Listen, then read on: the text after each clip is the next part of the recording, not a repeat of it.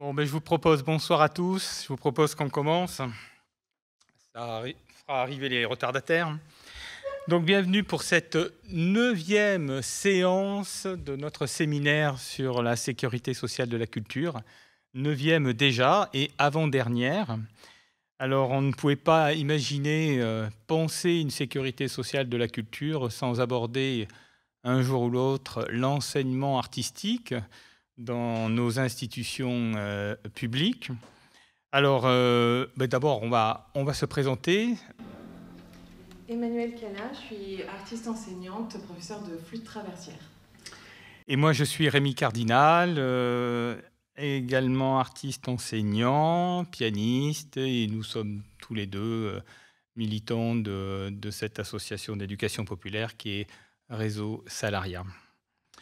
Alors, euh,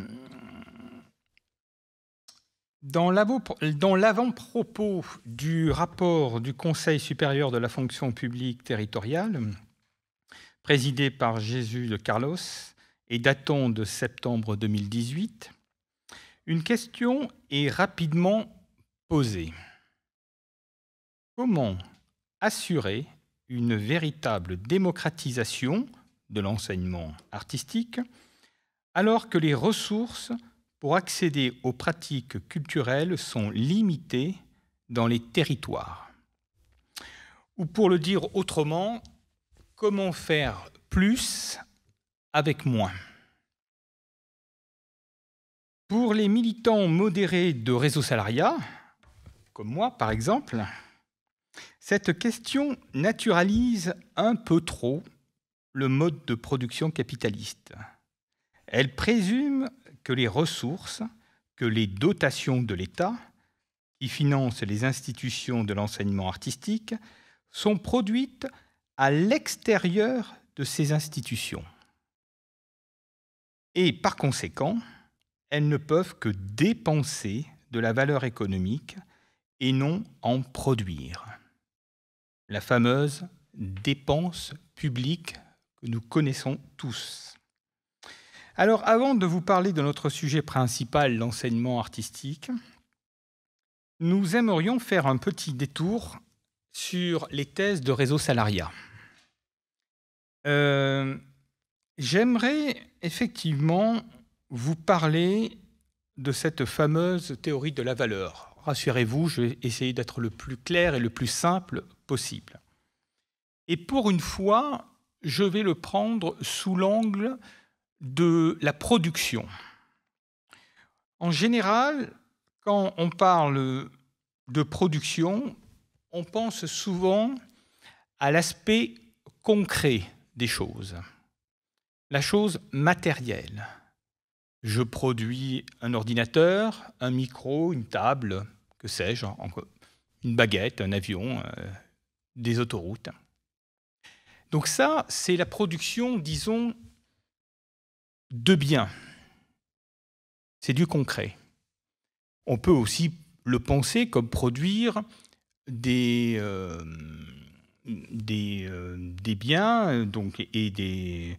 Alors je trouve plus mon mot évidemment, mais des services. Voilà, le service, c'est exactement le sujet de ce soir. Un enseignant produit euh, des cours. Un artiste fait des concerts. Donc ça, c'est, disons, en termes théoriques, en termes savants, c'est la production de valeurs dites d'usage. C'est du concret, c'est du matériel, c'est de l'ordre de l'activité.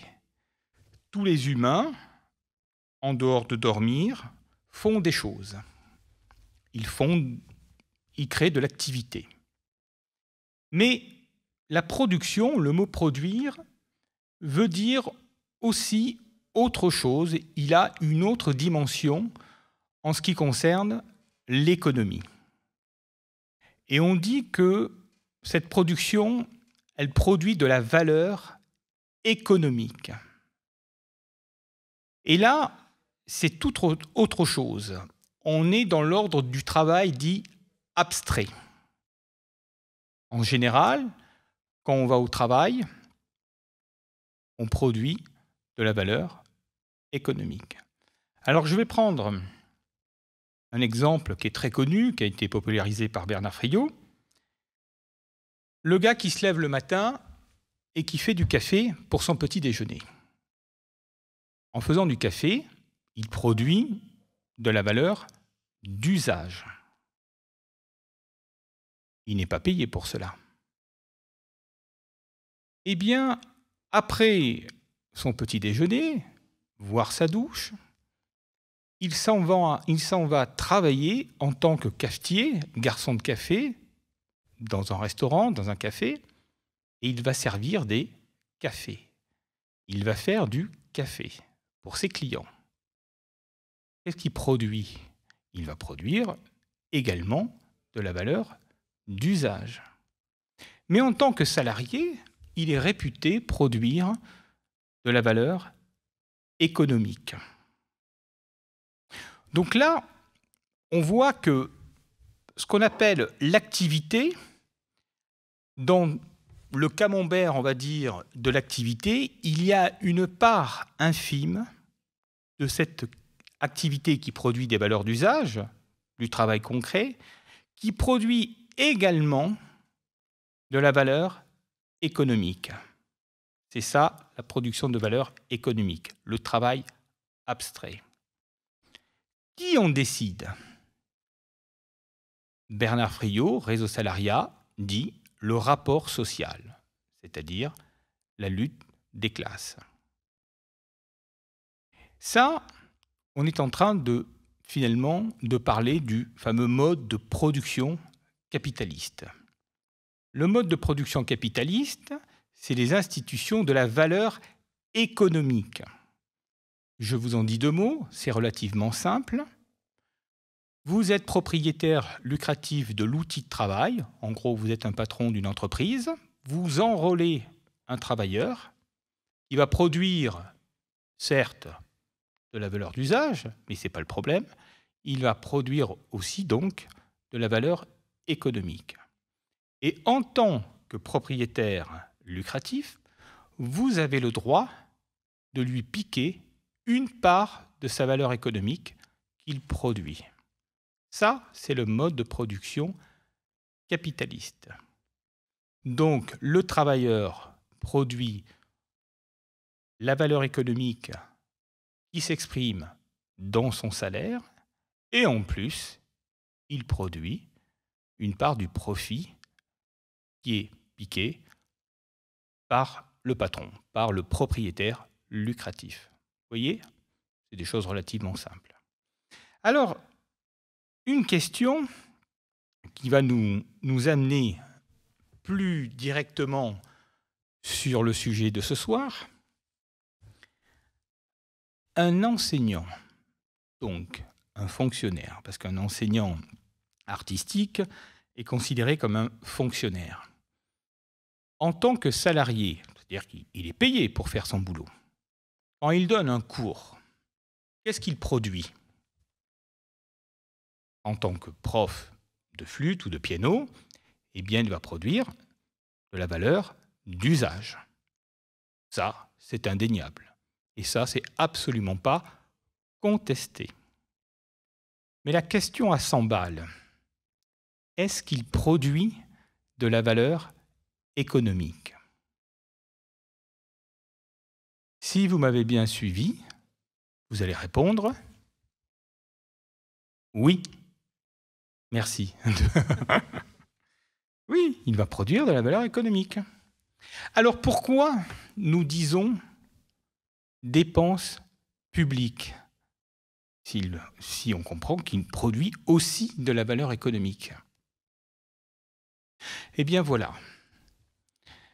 Les plus radicaux d'entre nous, nous disons qu'il y a une sorte d'aliénation dans, la vision que nous avons du travail productif. Pourquoi il y a une aliénation? Parce qu'en fait, en disant dépenses publiques, nous adhérons à la définition du travail productif de la bourgeoisie capitaliste. que dit la bourgeoisie capitaliste? Ne produit de la valeur économique que ceux qui mettent en valeur du capital. Quand vous valorisez le capital, valoriser le capital, ça veut dire augmenter le capital par votre travail productif, par la production de valeur économique, eh bien là, vous êtes un travailleur productif. Mais si vous êtes un fonctionnaire, ah ben non. Vous produisez effectivement de la valeur d'usage, mais pas du tout de la valeur économique. Non, on vous paye en tant que fonctionnaire parce que nous sommes solidaires de vous. Nous estimons que nous avons besoin de services publics, nous avons besoin de fonctionnaires qui, travaillent beaucoup hein, dans, le travail concret, euh, ils bossent à fond, hein. ils produisent beaucoup de valeur d'usage, et pas de bol, ils ne produisent absolument pas de valeur économique, puisqu'ils ne mettent pas en valeur du capital. Un fonctionnaire euh, ne valorise pas le capital d'un conservatoire ou, de l'éducation nationale. Donc voilà. Voilà l'enjeu, en fait, euh, j'ai envie de dire, décisif pour bien comprendre ce que nous allons un tout petit peu développer ce soir. Est-ce qu'un enseignant artistique produit de la valeur économique autre que la valeur économique capitaliste? Poser la question, évidemment, c'est y répondre. Alors, je tiens quand même à souligner que cet exposé que nous allons vous faire, Emmanuel et moi, euh, c'est largement appuyé sur, un rapport formidable du Conseil supérieur de la fonction publique territoriale, la filière enseignement artistique, qui date euh, du 26 septembre 2018, et dont le rapporteur est Jésus de Carlos. Euh, vraiment, je, tiens, même si j'ai un tout petit peu, je me suis un, tout petit peu amusé à questionner euh, un certain prisme de ce rapport, euh, je tiens à, souligner qu'il pose d'excellentes euh, questions. Comme par exemple, euh, il, soulève plusieurs problématiques. L'inégalité de l'offre d'enseignement sur l'ensemble du territoire, la dévalorisation et le délitement de l'enseignement supérieur, les contradictions entre les missions de catégorie A et B, rassurez-vous, on va y revenir, précarisation des emplois, et recrutement massif des contractuels. Dégradation des conditions d'emploi, du temps de travail, des obligations de service et des pratiques professionnelles. Et je ne peux que euh, recommander ce rapport que vous trouvez très facilement euh, euh, sur Internet. Et on le mettra en lien sur, la, sur la vidéo. Car quand on prépare les concours de qualification dans, dans la filière enseignement artistique, c'est vraiment un, rapport très exhaustif sur, sur plein, de, plein de domaines. Alors, je commence avec un bref historique sur, disons, l'enseignement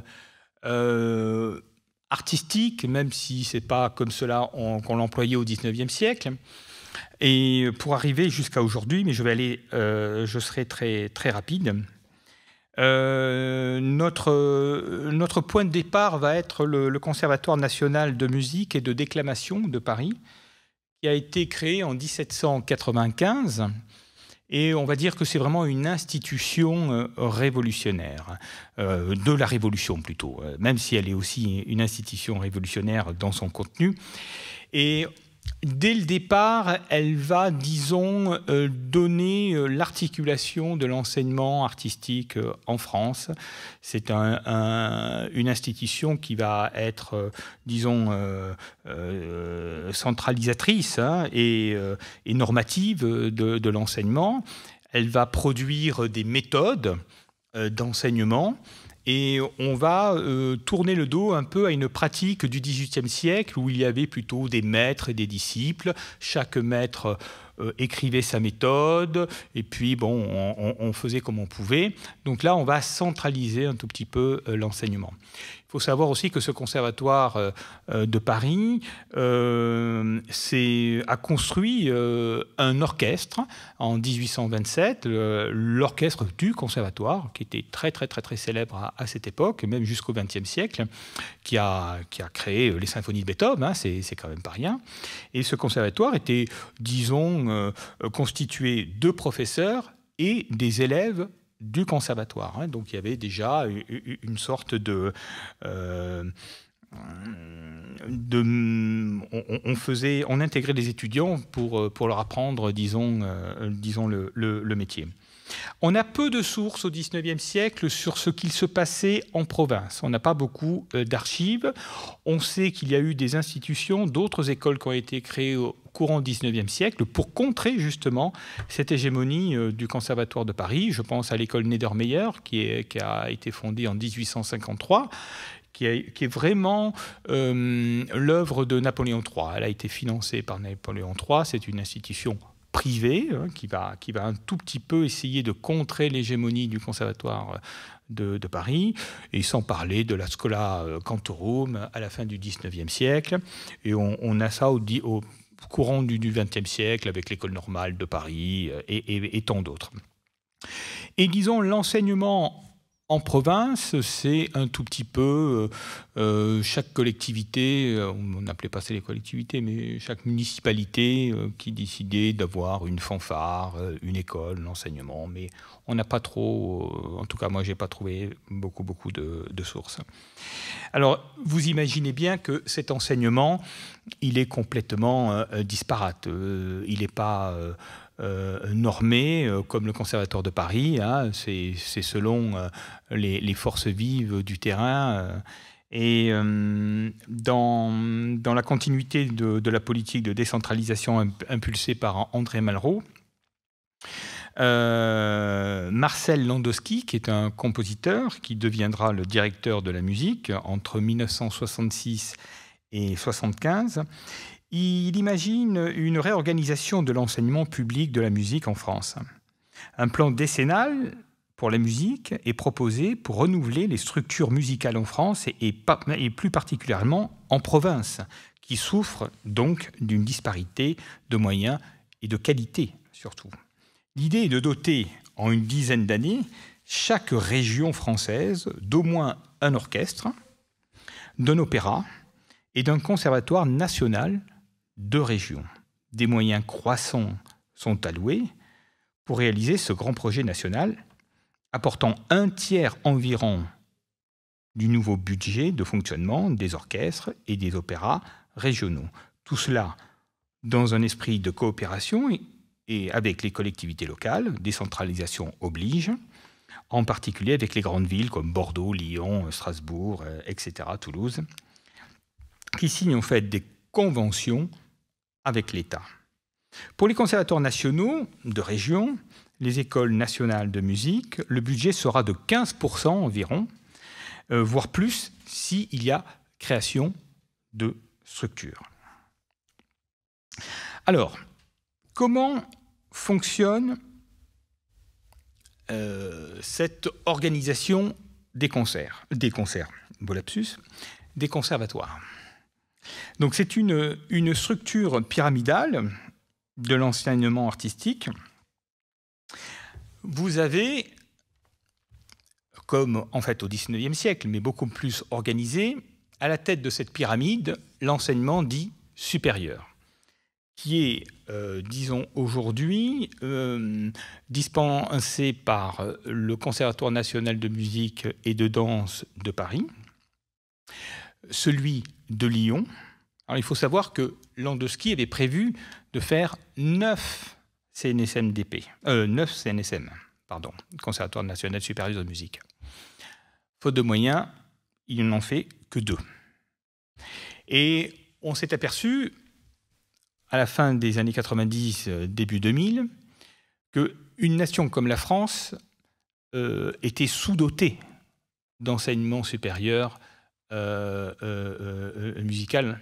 Donc, on a créé d'autres structures, des pôles supérieurs, pour justement éviter que toute la jeunesse, une grande partie de la jeunesse française parte à l'étranger pour se former.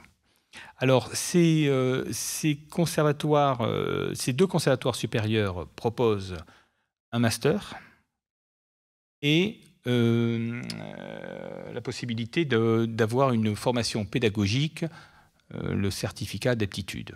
Mais on y reviendra un peu plus tard. Les pôles supérieurs, qui sont, disons, l'étage en dessous, eux, ils proposent seulement une licence et une formation d'enseignement euh, pour le DE, le diplôme d'État, qui correspond à catégorie B et le CA correspond à catégorie A. Mais on y reviendra. Alors, en dessous, il y a une autre pyramide. Dans la pyramide, c'est ce qu'on appelle l'enseignement initial. Vous avez 44 CRR, donc conservatoire à rayonnement régional, 109 environ CRD, Conservatoire régional départemental, un rayonnement pardon, départemental, et 338 CRC ou CRI, Conservatoire à rayonnement communal ou intercommunal. Alors, qu'est-ce qu'on y trouve dedans? Ça, c'est des labels qui sont donnés par l'État. Pour être CRR, il faut dispenser les trois disciplines artistiques, la musique, la danse et le théâtre. Pour un CRD, seulement deux sur trois. Et pour un CRC ou un CRI, communal ou intercommunal, un des trois. En sachant que euh,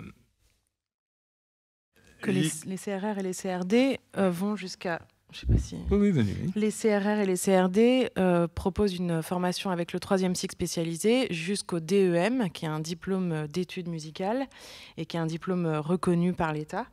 les CRC et les CRI ne proposent que le troisième cycle amateur et donc pas troisième cycle spécialisé. Il n'est pas possible de faire un troisième cycle professionnalisant dans un CRC, donc communal. Euh, et donc propose un CEM à la fin des études. En fait, CRD et CRR, c'est sensiblement la même chose, à part ces deux ou trois spécialisations, enfin, c'est trois, spécialités, pardon. Euh, mais par contre, il y a une grosse différence avec les CRC, qui sont les, les conservatoires les plus nombreux, en fait, et qui s'arrêtent au troisième cycle amateur.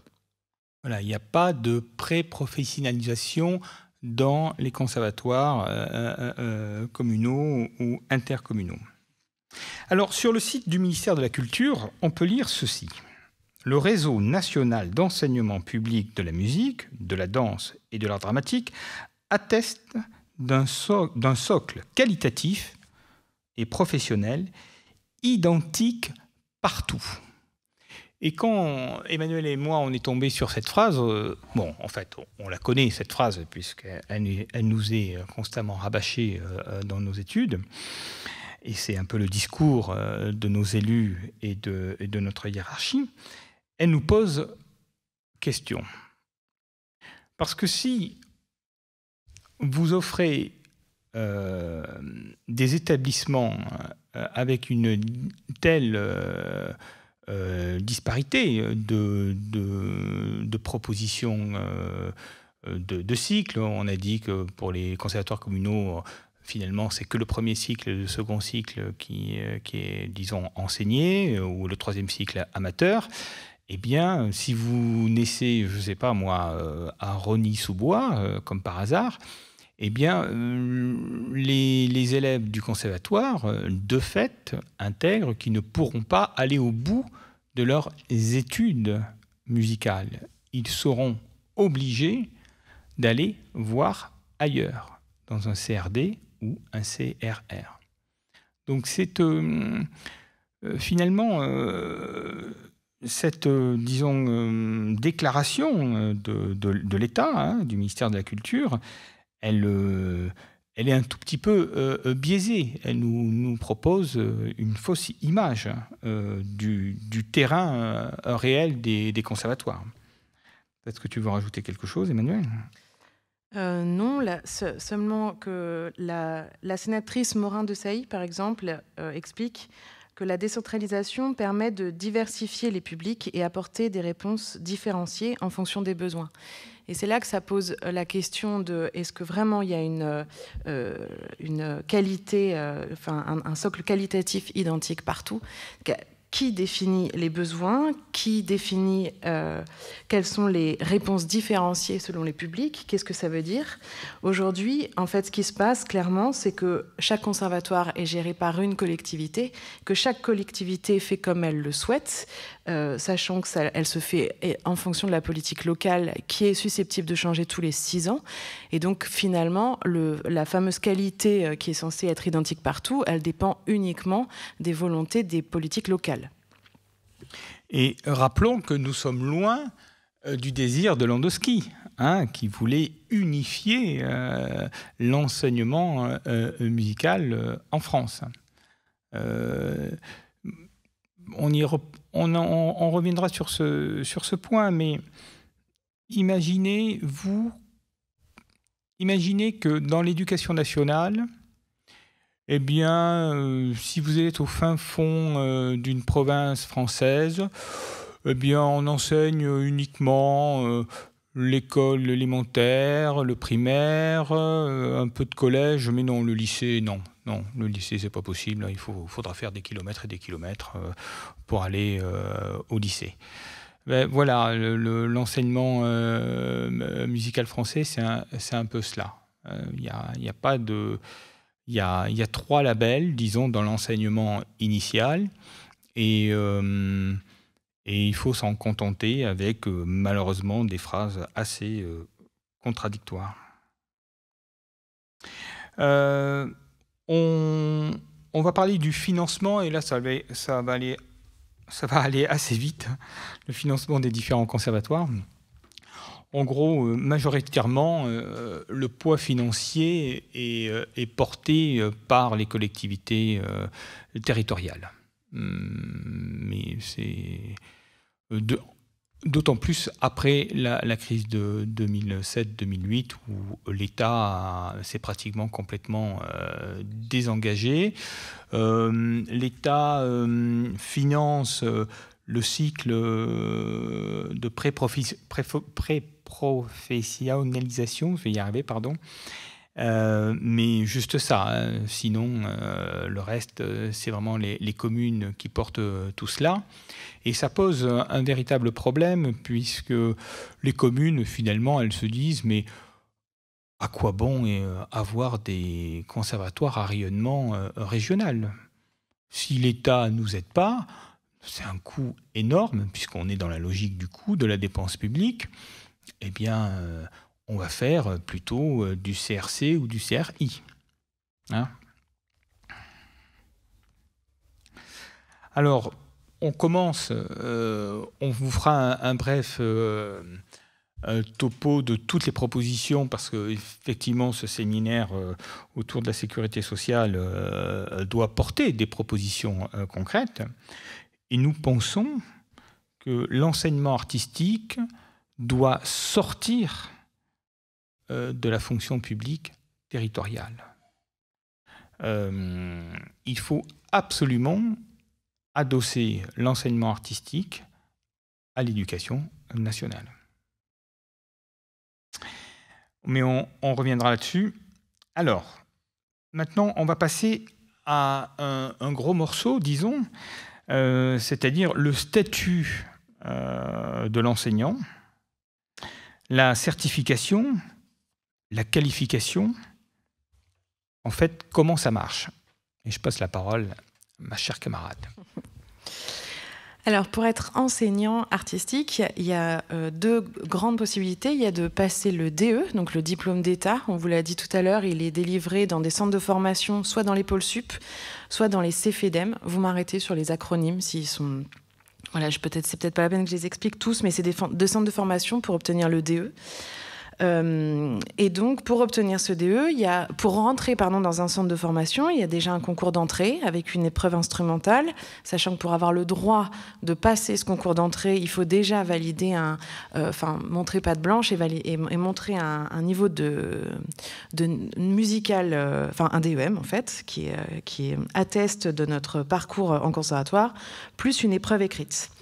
Ensuite, il y a environ trois ans de formation euh, dans lesquels il est question de théorie, de culture musicale. Euh, on échange avec des intervenants sur la pédagogie. Il y a des cours pratiques.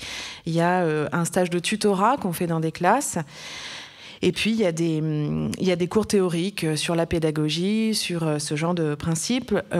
c'est aussi quand même dans ce genre de formation où on, nous dit très clairement dès le départ que euh, on va enseigner à des élèves qui sont qui seront euh, très très, pardon, très majoritairement qui deviendront amateurs. Et on sous-entend, euh, sans que ce soit si sous-entendu d'ailleurs, que euh, il faut adapter, encore une fois, notre enseignement dans la mesure où on va former en très grande majorité des élèves amateurs. Il faut adapter notre enseignement et être conscient de ça en gros, ne pas être trop exigeant. On, parle aussi très vite de cette fameuse dépense et du fait qu'on coûte. Euh, on, nous explique combien coûte un élève à une collectivité, quel est le coût, quel est le coût de la masse salariale, combien coûte un prof à une collectivité. Et donc, on, intègre assez vite l'idée que euh, c'est déjà formidable d'ouvrir un conservatoire, parce que c'est pas une obligation, et que euh, du coup, il est bien normal que les collectivités demandent un certain retour sur investissement, puisqu'ils investissent, euh, voilà, et nous font, euh, euh, voilà. voilà, ce geste. Avec, euh, il y a un examen à la fin de cette formation, avec de nouveau une épreuve instrumentale, euh, une épreuve pédagogique, un dossier, un mémoire et une épreuve orale. Il est possible d'avoir ce DE en VAE, donc euh, validation d'acquis. Si on a enseigné dans des, associations avec plusieurs années d'expérience, c'est possible. Euh, J'en parle ici aussi, mais il, existe le DUMI chez les enseignants, euh, chez les enseignants artistiques. Donc le, DUMI, c'est les, les intervenants en milieu scolaire, les musiciens intervenant en milieu scolaire. Et donc, pour obtenir un DUMI, le centre de formation s'appelle un CFMI. Et on y reviendra tout à l'heure, mais alors pour le coup, euh, le, les, musiciens intervenants n'ont pas de possibilité d'évolution de, carrière du tout. J'en parlerai plus tard dans, la qualification. Deuxième diplôme, là aussi il y a une hiérarchie, donc le, le DE qui sera considéré comme catégorie B, et puis le CA, certificat d'aptitude. Les deux seuls centres de formation qui existent sont les deux CNSM à Paris et à Lyon. À l'époque, pour le DE et le CA, il y avait encore des concours de, en candidat libre. Ça n'existe plus. Et donc là, pour entrer dans ces centres de formation, il y a un concours d'entrée avec une épreuve instrumentale. Alors, encore une fois, qu'on nous a demandé tous nos diplômes de, euh, de cursus au conservatoire pour avoir le droit de passer ce concours d'entrée. Il y a deux épreuves écrites, il y a un oral, un entretien de pédagogie, une observation d'élèves pour le concours d'entrée. La formation dure entre 2 et 4 ans. Et donc là, c'est un petit peu comme ce que je vous ai dit en CFEDEM, euh, avec, euh, avec des tutorats un petit peu plus poussés, une conception de projet, conduite d'équipe, puisque c'est euh, ce que sont supposés faire les profs à CA. À la fin, un examen avec une mise en situation, un mémoire, un entretien, une convention de stage, etc. Ça, c'est pour la partie certification. C'est-à-dire qu'une fois qu'on a son DE et son CA, on est diplômé, on est considéré comme, euh, euh, capable d'enseigner, mais on n'est pas qualifié. Donc il faut encore euh, passer les concours de titularisation dans la fonction publique pour avoir la qualification qui correspond à notre niveau. Dans la plupart des cas, on, travaille déjà dans des conservatoires parce que parce qu'on a trouvé des postes, donc on a passé des entretiens d'embauche, puisqu'on est sur le marché du travail. Et donc... Euh, Avec un CDD. Voilà on, voilà, on est contractuel. Et après, il y a donc deux possibilités de euh, qualification. L'ATEA. Euh, Assistante territoriale d'enseignement artistique voilà, qui est donc de catégorie B, dans lequel il y a trois grades, mais c'est de catégorie B. Pour vous donner un ordre d'idée, les salaires vont de euh, 1600 euros bruts en début de carrière pour atteindre 2500 euros bruts en toute fin de carrière. Pour obtenir cet ATEA, euh, il y a soit un concours externe si on a le DE, avec un dossier professionnel, euh, parcours pédagogique, dossier artistique et un entretien avec le jury. Si on n'a pas le DE, mais qu'on veut le passer parce qu'on a suffisamment d'années d'ancienneté dans la fonction publique, alors il y a d'abord une épreuve d'admissibilité avec un dossier professionnel, un projet pédagogique. Euh, il faut attester de 4 ans de service public. Et il y a ensuite une épreuve d'admission où il faut donner cours, il y a une épreuve technique, plus un entretien portant sur la pédagogie, euh, notre parcours artistique et euh, des questions de la, qui, euh, sur, la, sur la fonction publique territoriale, avec un lien ou pas avec notre métier. pour ce qui est du DUMI, je voulais pas oublier, je, reviens dessus, encore une fois, les DUMIs, les musiciens intervenants, ne peuvent passer que la TEA en catégorie B. Il n'existe pas de catégorie A pour les musiciens intervenants. Et puis... juste, je fais un petit rappel de ce que j'ai dit au début pour que vous compreniez bien. Donc la certification, les diplômes d'enseignement, diplôme d'État, DE, CA, certificat d'aptitude et DUMI, ça, ça renvoie à la valeur d'usage, au travail concret. Ça, c'est nullement contesté. Et les concours de qualification, pour entrer dans la fonction publique pour avoir un grade qui atteste, atteste que le salarié produit de la valeur économique. Donc voilà, la qualification, c'est la valeur économique. Voilà, c'était tout. La catégorie A des enseignants artistiques, c'est le PEA, donc euh, professeur d'enseignement artistique. Donc la différence entre, entre entre la catégorie B et la, catégorie A. Au niveau des missions, c'est pas tout à fait clair, c'est encore vraiment à redéfinir. Très concrètement, sur le terrain, on fait quand même à peu près tous le même euh, métier, selon dans quel établissement on est. Le, les profs PEA sont supposés avoir des missions encadrantes, euh, participation à la conception de projets, conception de projets euh, pédagogiques de l'établissement.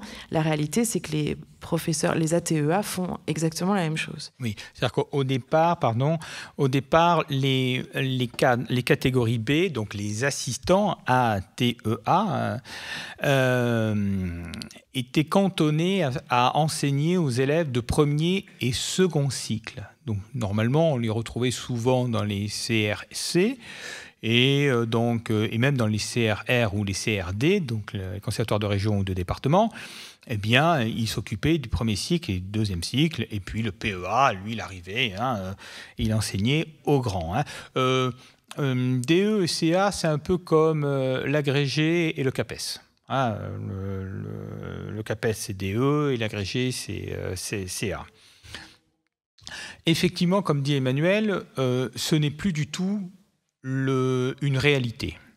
J'en suis la preuve vivante. Je suis catégorie B, malheureusement, et j'enseigne au, CR, CRR de d'Aix-en-Provence, et j'enseigne qu'à des troisième cycles et des cycles spécialisés.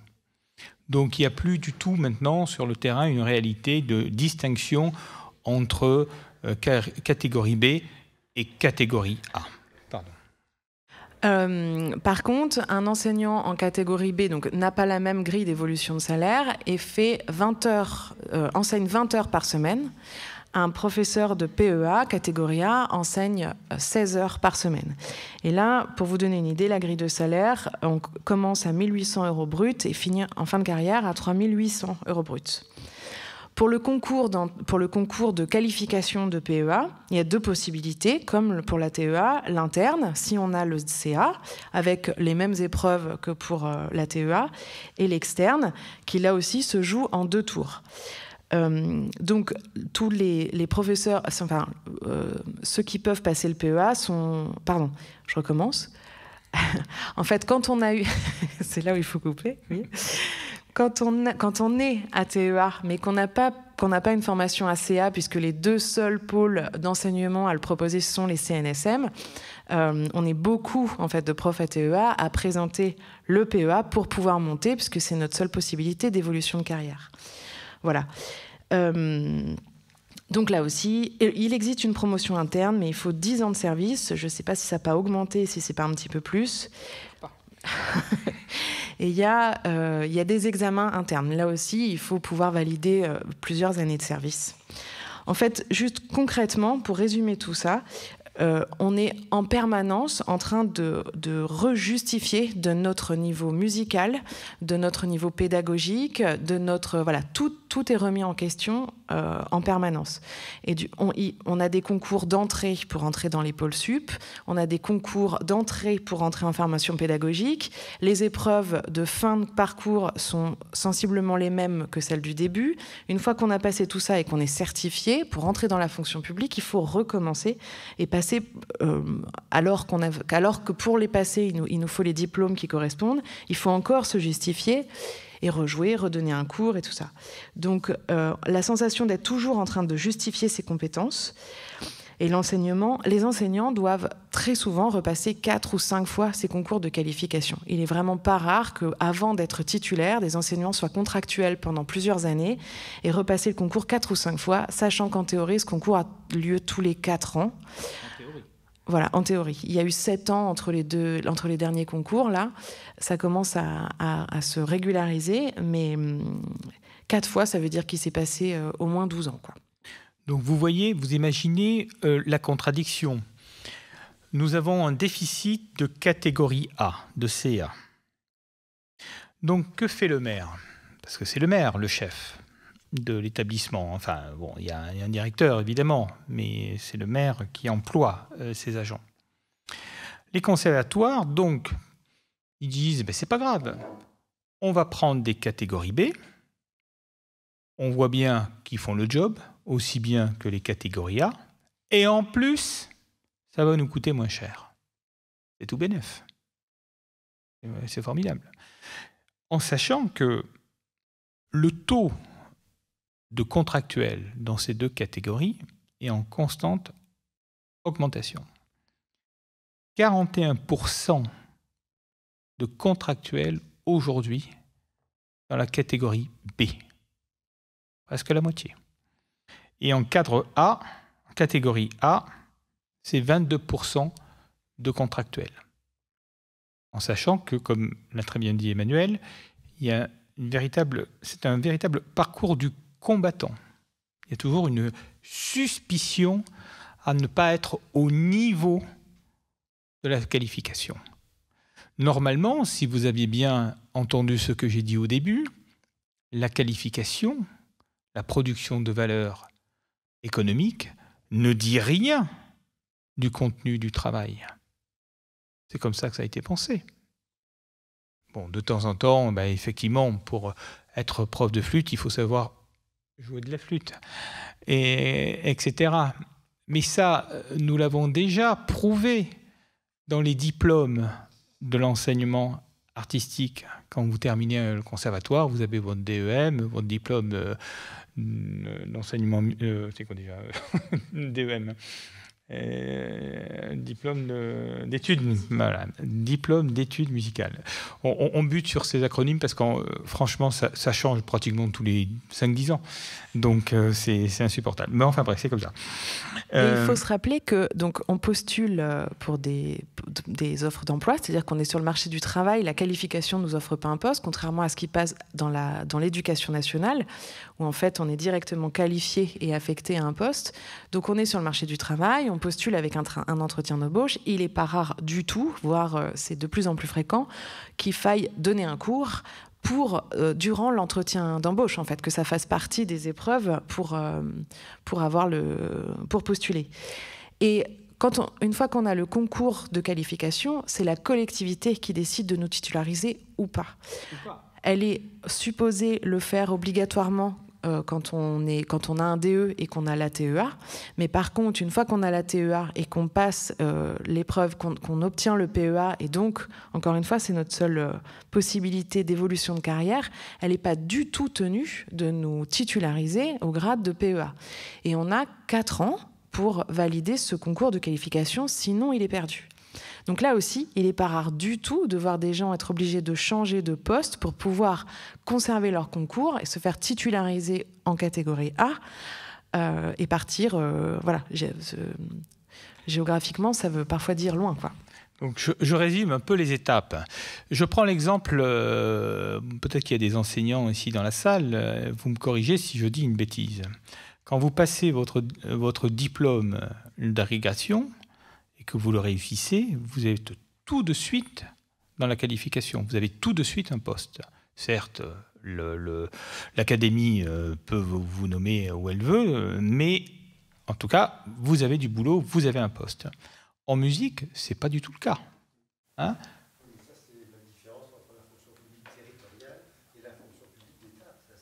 exact.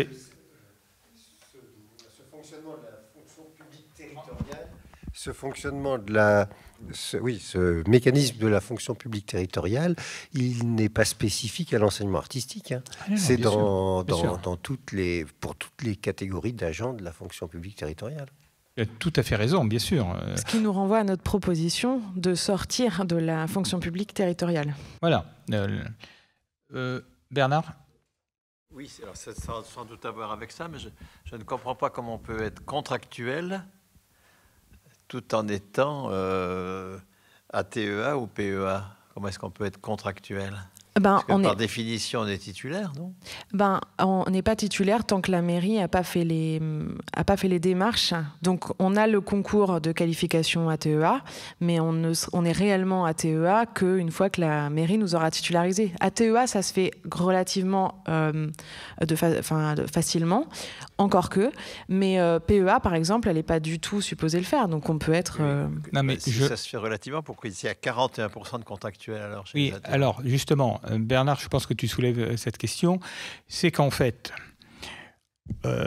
beaucoup d'enseignants commencent comme contractuels et ils sont payés au premier échelon de la catégorie B, ATEA. C'est ça en fait ils ne sont pas titulaires à TEA.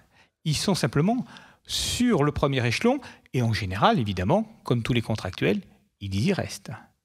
Donc ça donne des, situations euh, de carrière euh, salariale catastrophiques. Hein. On, on, connaît plein de collègues qui font toute une vie en tant que contractuels.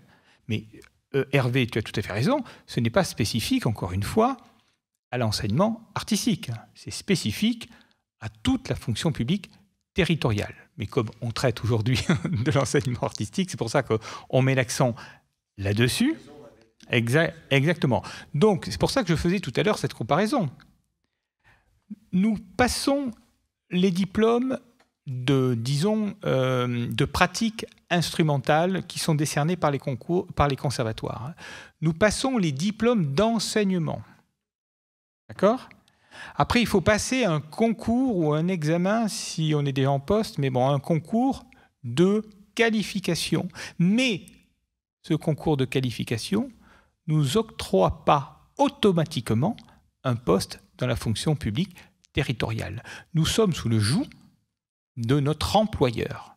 Car malheureusement, dans la fonction publique territoriale, il y a des employeurs, qui sont les mairies en fait. Donc vous voyez un peu ce, parcours du combattant. C'est terrible. Et effectivement, comme rappelait e-, Emmanuel, il n'est pas rare que vous réussissez votre concours de qualification, vous êtes en poste depuis X années dans votre conservatoire, la mairie refuse de passer ce poste ATEA à PEA, donc obligé pour le valider, parce que vous avez 4 ans hein, pour valider votre qualification. Si vous n'avez pas validé votre qualification dans les 4 ans, vous perdez votre diplôme de qualification. Donc beaucoup d'entre eux sont obligés de se délocaliser et d'aller postuler dans une autre mairie, parfois bien lointaine. Donc ça met, c'est une situation euh, épouvantable hein, pour, euh, euh, les, salariés. Donc notre proposition, hein, c'est qu'il faut absolument refuser qu'il y ait deux catégories dans l'enseignement artistique.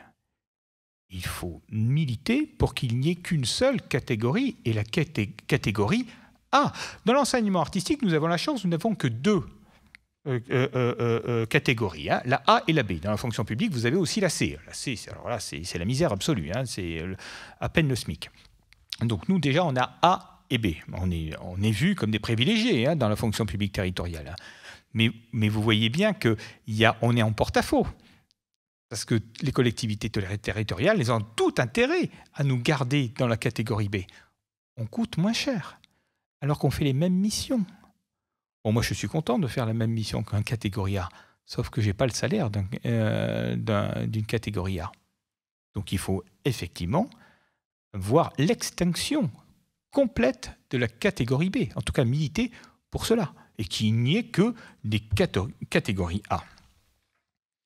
Est-ce qu'on parle tout de suite euh, de cette histoire de concours ou on, revoit plutôt euh, plus tard la proposition La proposition? des diplômes qualifiants. Quand même. Oui, on, on, a, enfin, dans les propositions qu'on fait aussi, parce que cette proposition de passer à la catégorie A, c'est une, une, proposition qui est, qui est, faite de plus en plus par les syndicats, notamment. Euh, nous, on, pose aussi la proposition d'un diplôme qualifiant, c'est-à-dire que dans la mesure où on, milite pour une seule catégorie, la catégorie A, il y aurait un diplôme, le CA, qui serait une qualification automatique vers le PEA. Et la possibilité de le passer de nouveau, comme c'était le cas il y a quelques années, en candidat libre. Et alors du coup, à partir du moment où on obtient ce diplôme qualifiant qu'est le PEA, on est qualifié automatiquement vers un poste. Vers un poste, quand bien même il n'y aurait pas encore de poste. Et c'est là où, à mon avis, euh, Réseau Salariat euh, amène euh, une sorte de subversion à notre imaginaire. Vous avez, vous obtenez votre qualification. On va dire, peu importe les modalités de concours. Ça, ça se réfléchit collectivement. Vous avez droit donc à un salaire. Peu importe ce que vous faites, vous avez droit à un nouveau statut qu'il faut aujourd'hui réclamer, le statut de l'artiste enseignant. Ça, c'est très important. Aujourd'hui, nous n'avons pas ce statut. Et ce statut d'artiste enseignant, eh bien, il, dit que quoi que vous fassiez, des cours, de l'enseignement, des concerts, du spectacle vivant, vous avez votre salaire. Et c'est là qu'on, encore une fois, on enfonce un coin communiste dans le mode de production capitaliste. Parce que, n'ayons pas peur des mots, la fonction publique territoriale fonctionne comme le mode de production capitaliste. C'est pas parce que c'est la fonction publique euh, que, que c'est pas capitaliste. Nous l'avons démontré. Nous avons des employeurs, nous sommes obligés de nous mettre à genoux devant, devant nos employeurs, malgré euh, la compétence, euh, notre savoir-faire. non. Donc il faut absolument militer pour que, disons, cette qualification donne un droit au salaire et un salaire à vie. Quoi qu'on fasse si la collectivité est incapable de, donner des postes, eh bien, on fait autre chose. Mais nous avons un salaire comme préalable à la production d'enseignants artistes ou d'artistes enseignants. Ça, c'est des choses, il nous semble, très importantes de, de souligner. On passe à la... On va passer maintenant, c'est presque bientôt terminé, les conditions de travail des enseignants artistiques et leur travail concret. Euh, donc pour vous faire une, journée type d'un enseignant, je cherche ma journée type. Euh, on, on, a parlé tout à l'heure des différences entre CRR, CRD, CRC. La journée n'est pas tout à fait la même. et c'est là aussi où la, proposition euh, euh, soi-disant égale sur tous les territoires n'est pas la même. C'est qu'on n'a pas tout à fait la, même... Euh, on ne fait pas la même qualité d'enseignement. On ne travaille pas dans les mêmes conditions selon qu'on travaille dans un CRR ou qu'on travaille dans un CRC. Quand on travaille dans un CRR avec une équipe qui est présente, avec des élèves qui vont jusqu'au troisième cycle spécialisé, ça veut dire par exemple que la journée commence euh, dans la matinée ou en début d'après-midi. En CRC, moi, ma journée, elle commence à 17h. Ça veut dire que je, je fais 16h, mais ma journée commence à 17h, elle finit très souvent entre 20h et 21h. 20h, 21h, ça veut dire que j'ai des enfants de 10, 11 ans qui sont fatigués, qui, sont, qui ont passé leur journée d'école, qui ont fait leur, euh, euh, leurs activités périscolaires avant de venir, et ils arrivent fatigués. Et moi, j'ai une, une équipe administrative qui est partie de mon conservatoire à 17h30. Donc, conservatoire vide, prof fatigué, élèves fatigués, avec tout ce que ça implique sur la vie de famille aussi. Quand on est prof en CRR, on a potentiellement des élèves en classe horaire aménagée musique, des élèves CHAM, on reviendra là-dessus aussi plus tard. Ça veut dire que ces élèves-là ont des après-midi dédiés au conservatoire, donc on commence les cours plus tôt. Voilà, vous avez compris ce que ça veut dire en termes de qualité d'enseignement, en termes d'émulation à l'intérieur de l'établissement. Euh, voilà. Du coup, euh, c'est ça qu'il faut couper. il y a aussi, parce que là, on est en train de parler de. On parle des profs contractuels et puis des profs qui sont titulaires. Et puis il y a aussi beaucoup de nos collègues qui sont à temps partiel. À temps partiel, ça veut dire qu'ils travaillent sur deux, parfois trois établissements. Trois établissements, ça veut dire parfois des, des établissements, tu peux en parler, avec plusieurs kilomètres qui séparent ces deux établissements. Ça veut dire pas les mêmes zones de vacances. Ça veut dire tout ça. Au moment des, de fin d'année, ça veut dire deux fois plus de projets. Ça veut dire le double de réunions. C'est pas, c'est pas seulement euh, 10 heures ici et 10 heures là et je fais mes 20 heures. C'est qu'il y a un moment donné où c'est le double travail ça veut dire les partitions à balader d'un établissement à un autre. Ça veut dire un, un, emploi du temps complexe. Et ça veut dire des, profs qui sont... Euh, en fait, qui sont, on n'est pas du tout. C'est le constat qu'on faisait en, discutant. On a du mal à faire corps dans notre profession, mais parce qu'on est chacun dans des collectivités qui sont très différentes. On ne sait pas ce qui se passe chez le voisin. Quand on finit par le savoir, on a du mal à s'identifier parce que finalement ça nous concerne pas. Ça se passe dans la mairie d'à côté, mais nous c'est pas, ça devrait aller. Euh, on est en CDI puisque ça existe euh, maintenant aussi dans la fonction publique, donc on se dit bon moi ça va. Le conservatoire d'à côté ils sont en CDD euh, de septembre à juin en, en étant au chômage de juillet à août. Ça veut dire que c'est vraiment une profession où on a du mal à se fédérer les uns aux autres, mais on a aussi du mal à se syndiquer, on a du mal à, discuter de à militer, parce qu'en en fait, on attend d'être sécurisé dans notre travail, et ça prend euh, longtemps. Vous avez vu ces histoires de titularisation.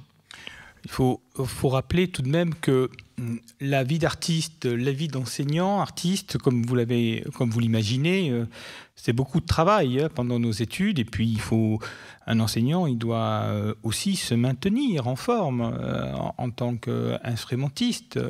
beaucoup ont encore une activité de concertiste, donc ça prend énormément de temps. Et on comprend euh, on comprend mieux pourquoi finalement c'est en général un grand flou artistique, si, je puis dire, sur toutes ces idées de qualification, de certification. La plupart de nos collègues, enfin, ils, sont un peu dépassés par, euh, par tout ce maillage euh, euh, administratif, statutaire. Et, finalement, bah, ils, lâchent l'affaire. Hein. C'est ça, on n'arrive pas à se fédérer parce qu'on a des conditions de vie. Moi, la plupart de mes collègues au Conservatoire d'Aix-en-Provence, je ne les connais pas. Et je ne les connais pas parce que je les croise jamais parce que je fais euh, mes heures, euh, je fais 6 heures euh, le lundi, qui se transforment en général en 8 heures dans la, journée, je suis enfermé dans, une salle avec mes étudiants. Donc ça ça incite pas, disons, à, avoir des échanges sur, sur le travail abstrait, ce dont je parlais tout à l'heure. On va toujours être sur le travail concret. Qu'est-ce qu'on fait? Il faut savoir aussi que dans un établissement d'enseignement artistique, il n'y a pas de prise décisionnelle collective des enseignants. La hiérarchie, le seul qui décide, c'est le directeur. Il va vous consulter, il va multiplier les réunions pédagogiques. Au début, on est tout feu, tout flamme. Puis au bout d'un moment, on a marre de, de, ces réunions. Ça sert à quoi une réunion consultative? À rien. Sauf à être en colère. Donc au bout de quelques années, on n'y va plus. Ou alors on y, va et on regarde son portable. Puisque le, directeur, il fait son, discours. Euh, et, quoi qu'on pense. Alors oui, dans la fonction publique, on peut l'ouvrir. Ça, c'est génial. Parce que quand on est titulaire, comme nous deux, on peut gueuler. Mais ça s'arrête là. Hein. Les contractuels, eux, ils gueulent pas. Évidemment, on les comprend. Ils n'ont pas intérêt de l'ouvrir tous les ans, un contractuel doit resigner un arrêté à la mairie. Quand il termine au mois de juin, il n'est pas sûr de revenir à son poste au mois de septembre. Donc vous avez bien compris qu'il a ferme. Donc on va faire quelques discussions sur l'organisationnel du conservatoire, mais jamais sur les questions de statut. On passe au travail concret.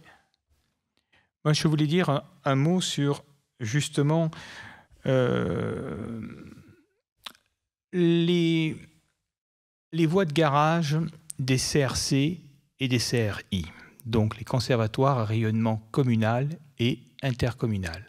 Nous avons dit tout à l'heure qu'ils se concentraient sur le premier cycle et le second cycle. Alors un cycle, c'est entre 3 ans et 5 ans euh, d'études. Et au bout de, la fin du cycle, on passe un concours, un examen, il y a un jury extérieur, et on décide si l'élève peut passer en second cycle. Et rebelote 3 à 5 ans. Et donc dans les autres conservatoires qu'on a vu, il y a un troisième cycle, encore une fois 3-5 ans. Donc en gros, 15 ans d'études de pratique instrumentale. Il n'y a pas que l'instrument, hein, les cours de solfège, les cours d'analyse, de musique de chambre, d'orchestre, etc., etc. Donc nous, on parle beaucoup de musique parce que c'est notre, terrain de jeu, disons, hein, mais c'est un peu la même chose pour la danse et, pour le théâtre. Mais je reviens à, ces conservatoires de, euh, euh, communaux. Il faut voir un tout petit peu la condition de travail d'un enseignant qui sait que quoi qu'il fasse, il n'abordera jamais le répertoire qui excite tous les musiciens, le grand répertoire du troisième cycle. Il va faire pratiquement toute sa carrière en apprenant Dorémy la perdrie. C'est sympa Dorémy la perdrie. Mais 20 euh, ans de carrière, 25 ans de carrière avec ce genre de répertoire, croyez-moi, ça use. En plus, il est cadre. Donc il doit faire 20 heures d'enseignement artistique par semaine. Alors évidemment, qu'un travailleur lambda va se marrer. 20 heures, mais tu fous rien, mon pauvre. Nous, on en fait 35, voire 50 euh, quand on est travailleur indépendant. Oui, mais il faut avoir un jour enseigné dans sa vie pour comprendre ce que c'est que une heure de cours avec un élève, le niveau de concentration qu'il faut. L'enseignement, c'est quelque chose de très important et de très difficile.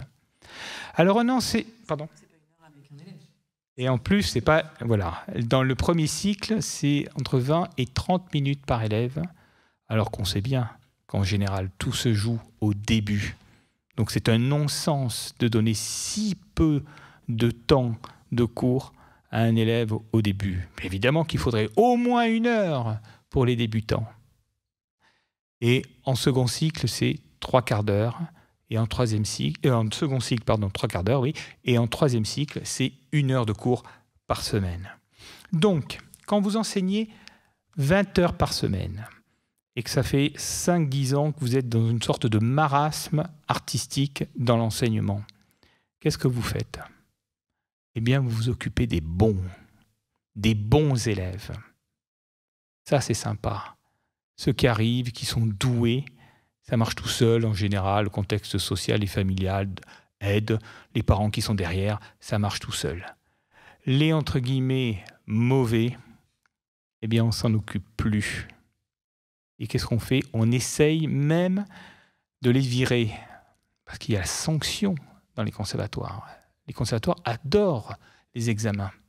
La fin du premier cycle, beaucoup de profs, inconsciemment ou consciemment, se disent, bon, enfin ça c'est même consciemment, hein, je, vous livre un, petit secret professionnel, on se dit, ouf, on arrive à la fin du premier cycle, on va pouvoir le virer. Je n'en peux plus de cet élève mauvais.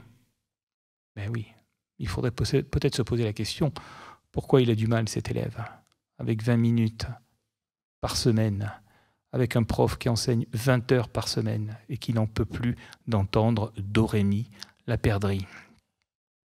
Donc voilà, euh, euh, je, donne quelques arguments à pourquoi on dit qu'il faut absolument foutre en l'air cette, cette pyramide des CRR, CRD, CRC. Évidemment qu'il faut que des CRR, que des conservatoires à rayonnement régional, qui dispensent les trois cycles d'enseignement pour sauver nos élèves, parce que eux aussi, les élèves, ils intègrent une sorte de médiocrité. Un élève qui n'entend jamais le grand répertoire des, grands élèves, des troisièmes cycles, eh bien, l'horizon musical de cet élève, il est extrêmement réduit. Moi, j'ai des souvenirs d'enfance où j'étais au conservatoire de Perpignan et je m'identifiais, je me projetais dans les grands élèves. Quand j'entendais leur grand répertoire, je dis ah, un jour peut-être je jouerai comme eux. Quand vous êtes en CRC, vous n'avez pratiquement jamais, les élèves n'ont jamais l'occasion d'entendre des grands élèves qui vont les faire vibrer. Mais non, ils vont entendre leurs collègues jouer aussi Dorémy la perdrie. Donc c'est très important de prendre conscience que les CRC, Là, je ne fais pas une critique des directeurs ou, du personnel enseignant, hein. ce sont des, victimes de, ce système-là. Mais on essaye de les alerter, de ne pas naturaliser leurs conditions entre, guillemets de, médiocrité institutionnelle. Les CRC, c'est un enfer pour l'enseignement artistique. C'est et 20 heures, évidemment, c'est beaucoup trop. On fait une proposition à Réseau Salariat dans ce séminaire. Nous, on veut évidemment que du cadre A, mais sûrement pas 16 heures, parce que 16 heures, c'est beaucoup trop, évidemment. Nous, on veut un statut d'enseignant artiste, artiste enseignant, qui se calque sur le statut de l'enseignant-chercheur. Un chercheur, il enseigne très peu. Et heureusement qu'il enseigne très peu, c'est pour ça qu'il est bon. C'est pour ça qu'il a le temps pour chercher pour faire de la recherche. Un musicien, il a besoin de temps pour pratiquer son instrument, pour avoir une, vie artistique pleine et entière. On sait bien qu'un bon prof, c'est quelqu'un qui, qui garde le contact avec la scène, avec le spectacle vivant. À 20 heures par semaine, c'est fini. Vous ne faites plus de scène. Vous lâchez la rampe. les étudiants, ils s'en aperçoivent. Hein ou alors, ils naturalisent la médiocrité. Ils intériorisent la médiocrité. On parle des femmes ou pas? Oui, et ce, ce, temps nécessaire pour la pratique, on le pense aussi pour nos élèves. Et dans nos propositions, nous, on pense qu'il faut des classes euh, à horaires aménagés, euh, musique, danse, théâtre, partout et tôt, dès l'élémentaire en fait. On se retrouve aussi avec des élèves ben, qui, encore une fois, arrivent au conservatoire à 18h avec un emploi du temps chargé et euh, un, conservatoire qui est déconnecté de l'enseignement euh, de l'éducation nationale. Donc on veut, un, euh, que sortir de la fonction publique territoriale et que l'enseignement entre dans l'éducation nationale pour nous, pour être fonctionnaire d'État, mais aussi pour nos élèves, et que l'enseignement artistique fasse pleinement partie de leur enseignement tout court. Et du coup, que ces classes à horaires aménagés soient systématiques. Oui, il faut, euh, euh, sauver un peu nos, étudiants et, nos collègues en, enseignants. Il faut qu'ils intègrent des, rythmes de, travail, entre guillemets, euh, normaux on est bien plus efficace quand on travaille dans la journée que quand vous voyez arriver Je dis ça parce que j'ai l'honneur d'avoir un, de mes, élèves dans, la salle. Il se reconnaîtra. Mais il se doute bien, parce que lui aussi, il a été enseignant. Quand vous arrivez, vous voyez arriver les 20 heures et que vous dites, mince, il y a encore trois élèves. Vous êtes sur les rotules. Ils sont aussi sur les rotules. Vous imaginez un peu la qualité de l'enseignement. Et ça, on ne peut pas en vouloir à nos collègues. Hein. C'est tout à fait normal. Hein. Et quand on dit classe aménagée, Rémi disait tout à l'heure 20 minutes d'enseignement pour un élève débutant, c'est beaucoup trop. Il faut une heure, mais pas nécessairement une heure d'un seul coup. C'est pas. Qu'est-ce que j'ai dit? C'est pas assez. C'est pas mais une heure pour un élève qui débute un instrument, on parle évidemment pas d'une heure d'un seul coup, mais des classes à horaire aménagé, c'est la possibilité de les voir plusieurs fois. On laisse nos élèves seuls pendant une semaine et on leur dit travaille à la maison.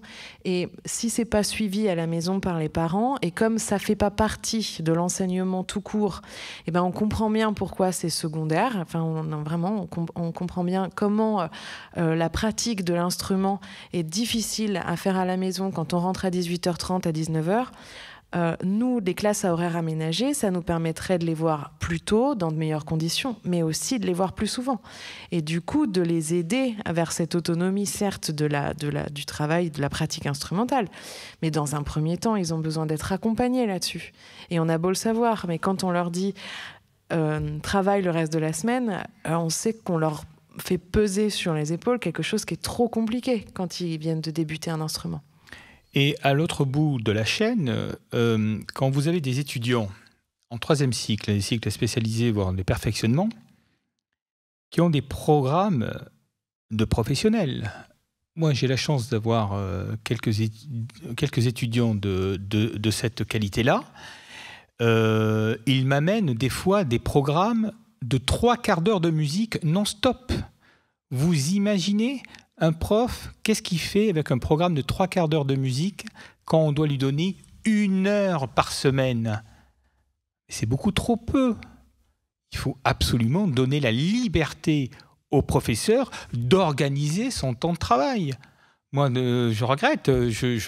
évidemment que les profs euh, consciencieux euh, font des heures sup, mais parce qu'ils aiment leur travail.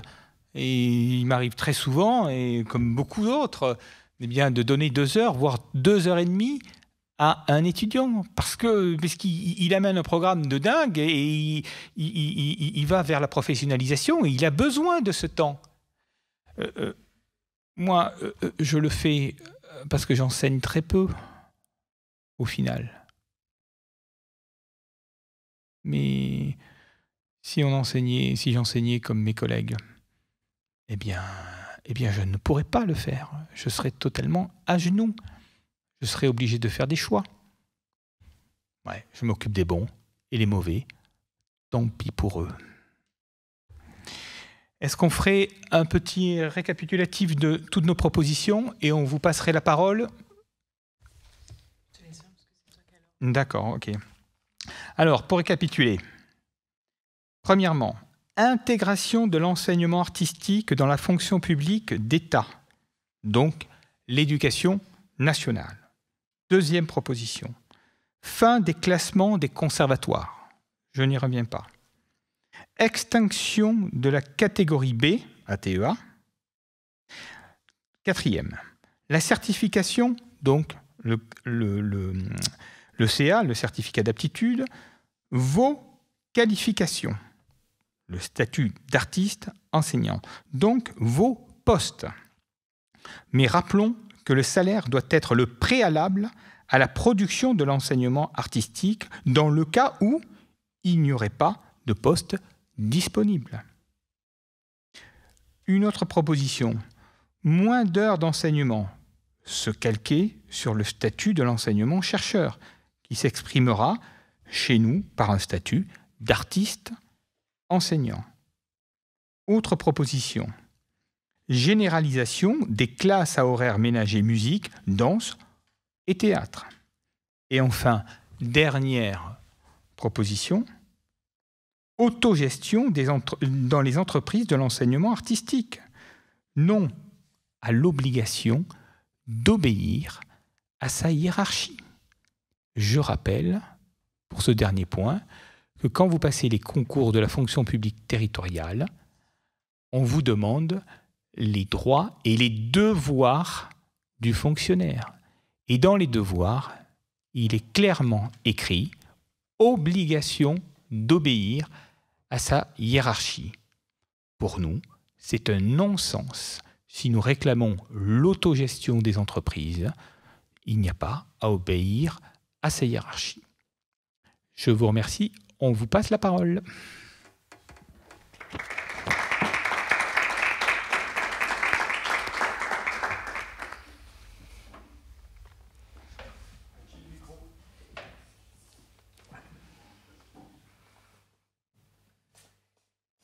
Bonjour à tous. Jésus de Carlos, chanté Rémi. Enchanté, merci d'être là. Euh, merci pour la prouesse de la synthèse du rapport. Hein, C'était pas, pas évident, il me semble.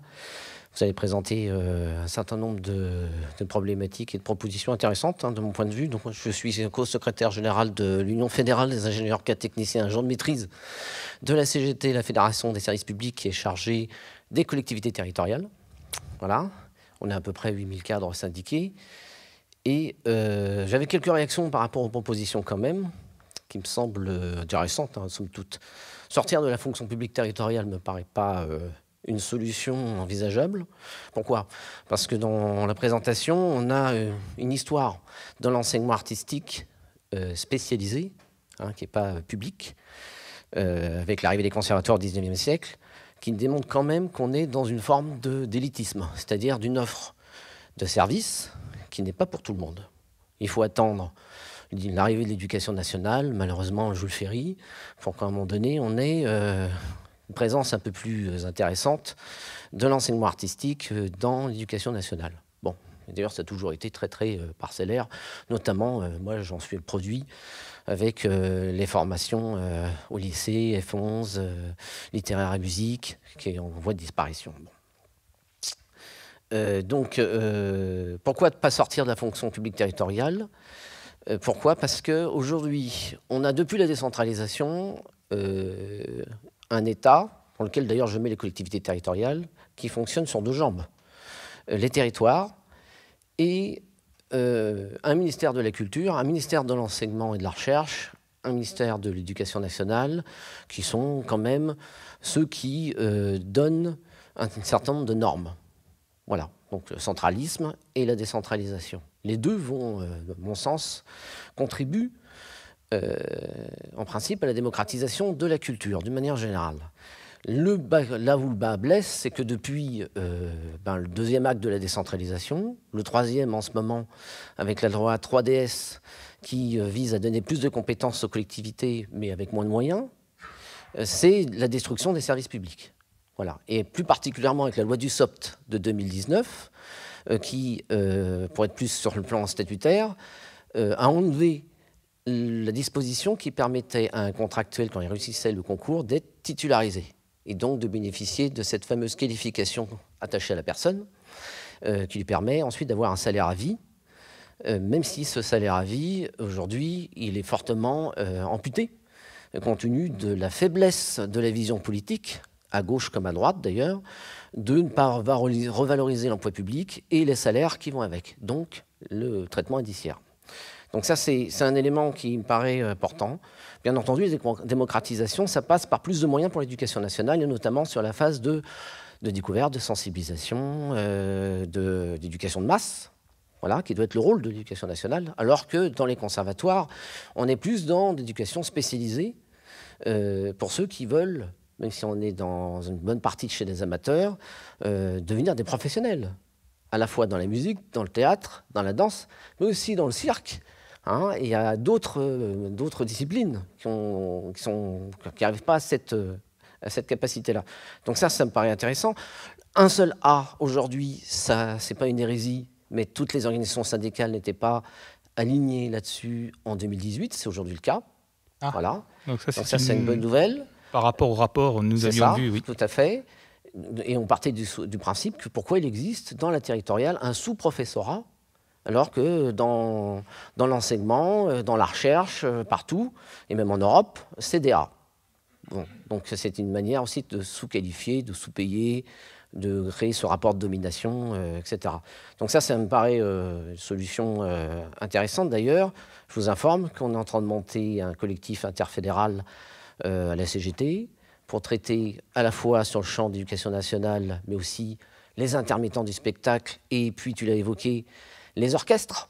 Hein, qui dépendent des régions, et, donc le statut de musicien d'orchestre, euh, d'ailleurs, euh, l'orchestre de l'Opéra de Nice vient de gagner une augmentation de 9% de salaire sur 3 ans. Donc c'est comme quoi les luttes payent.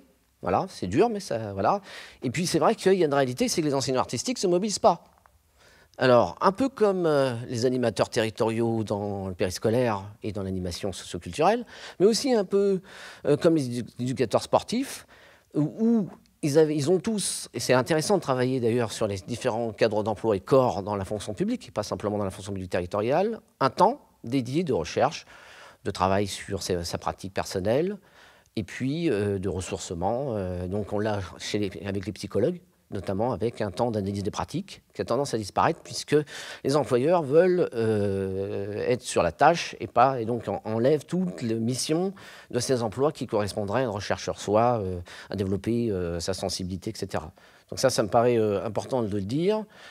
voilà, c'est je vais être obligé de partir parce que j'ai des obligations familiales. Je vous invite quand même à signer aussi la pétition qui est en ligne, parce qu'il n'y a quand même que 5000 enseignants sur les 25 000 ATEA euh, qui euh, ont signé euh, cette pétition qui vise justement à passer tout le monde en catégorie A.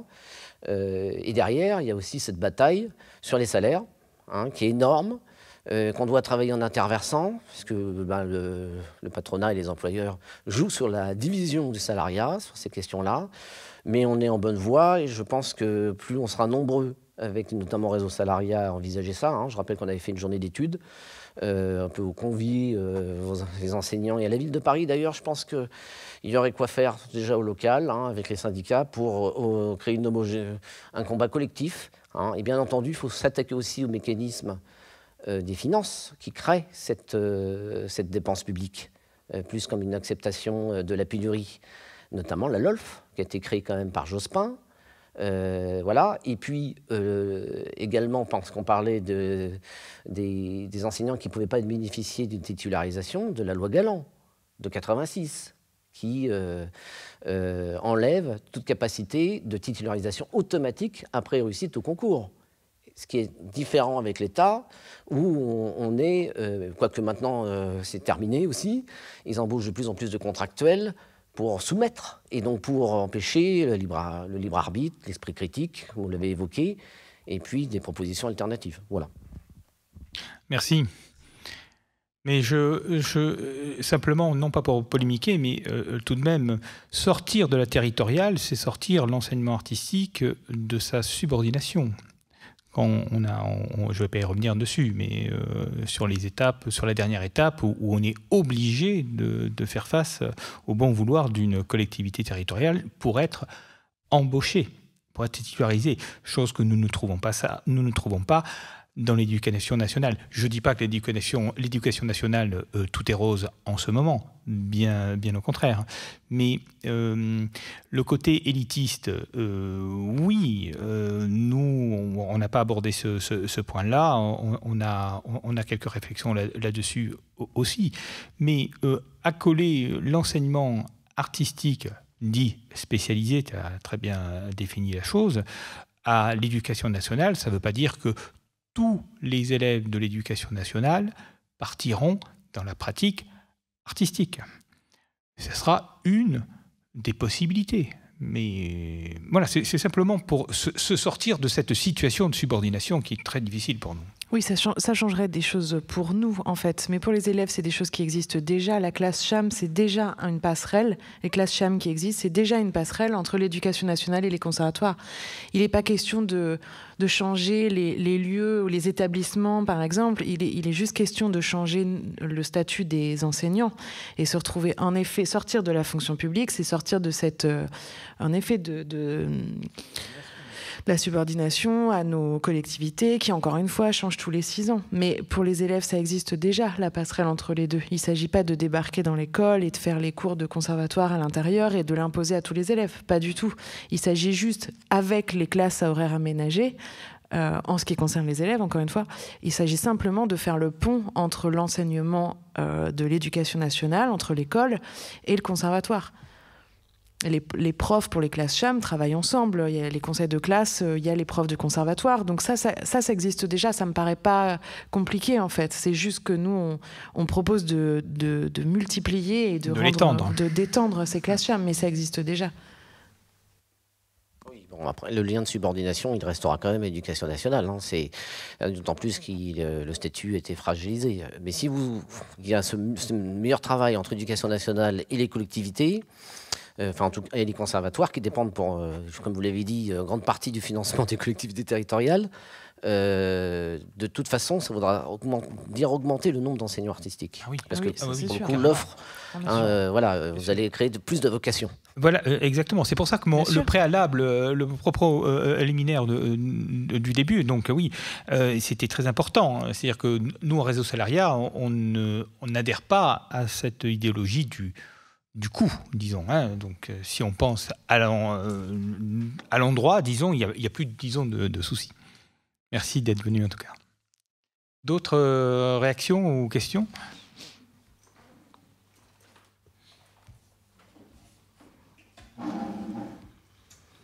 Au revoir. Merci. Ah oui. Juste une petite question. Euh, tu as parlé de corps euh, enseignant qui est complètement euh, atomisé. Euh, il n'y a pas d'organisation syndicale. Là, moi, j'y connais rien. C'est pour ça un petit point sur les organisations syndicales qui pourrait y avoir chez ces enseignants artistiques de la fonction publique territoriale. Bon, moi je ne suis pas un spécialiste, mais il en existe évidemment. Mais le taux de syndiqués est très, très, très faible.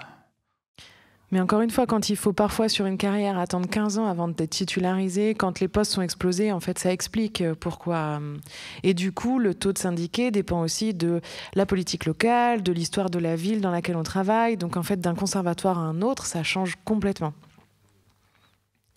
Voilà. Et. Je serais bien revenu quand même sur la question amateur et élitiste et tout ça, mais euh, quand on disait tout à l'heure l'égalité de qualité d'enseignement, euh, c'est aussi de ça dont il s'agit, c'est-à-dire que euh, oui, on conforme des amateurs ou des futurs professionnels, c'est pas la question.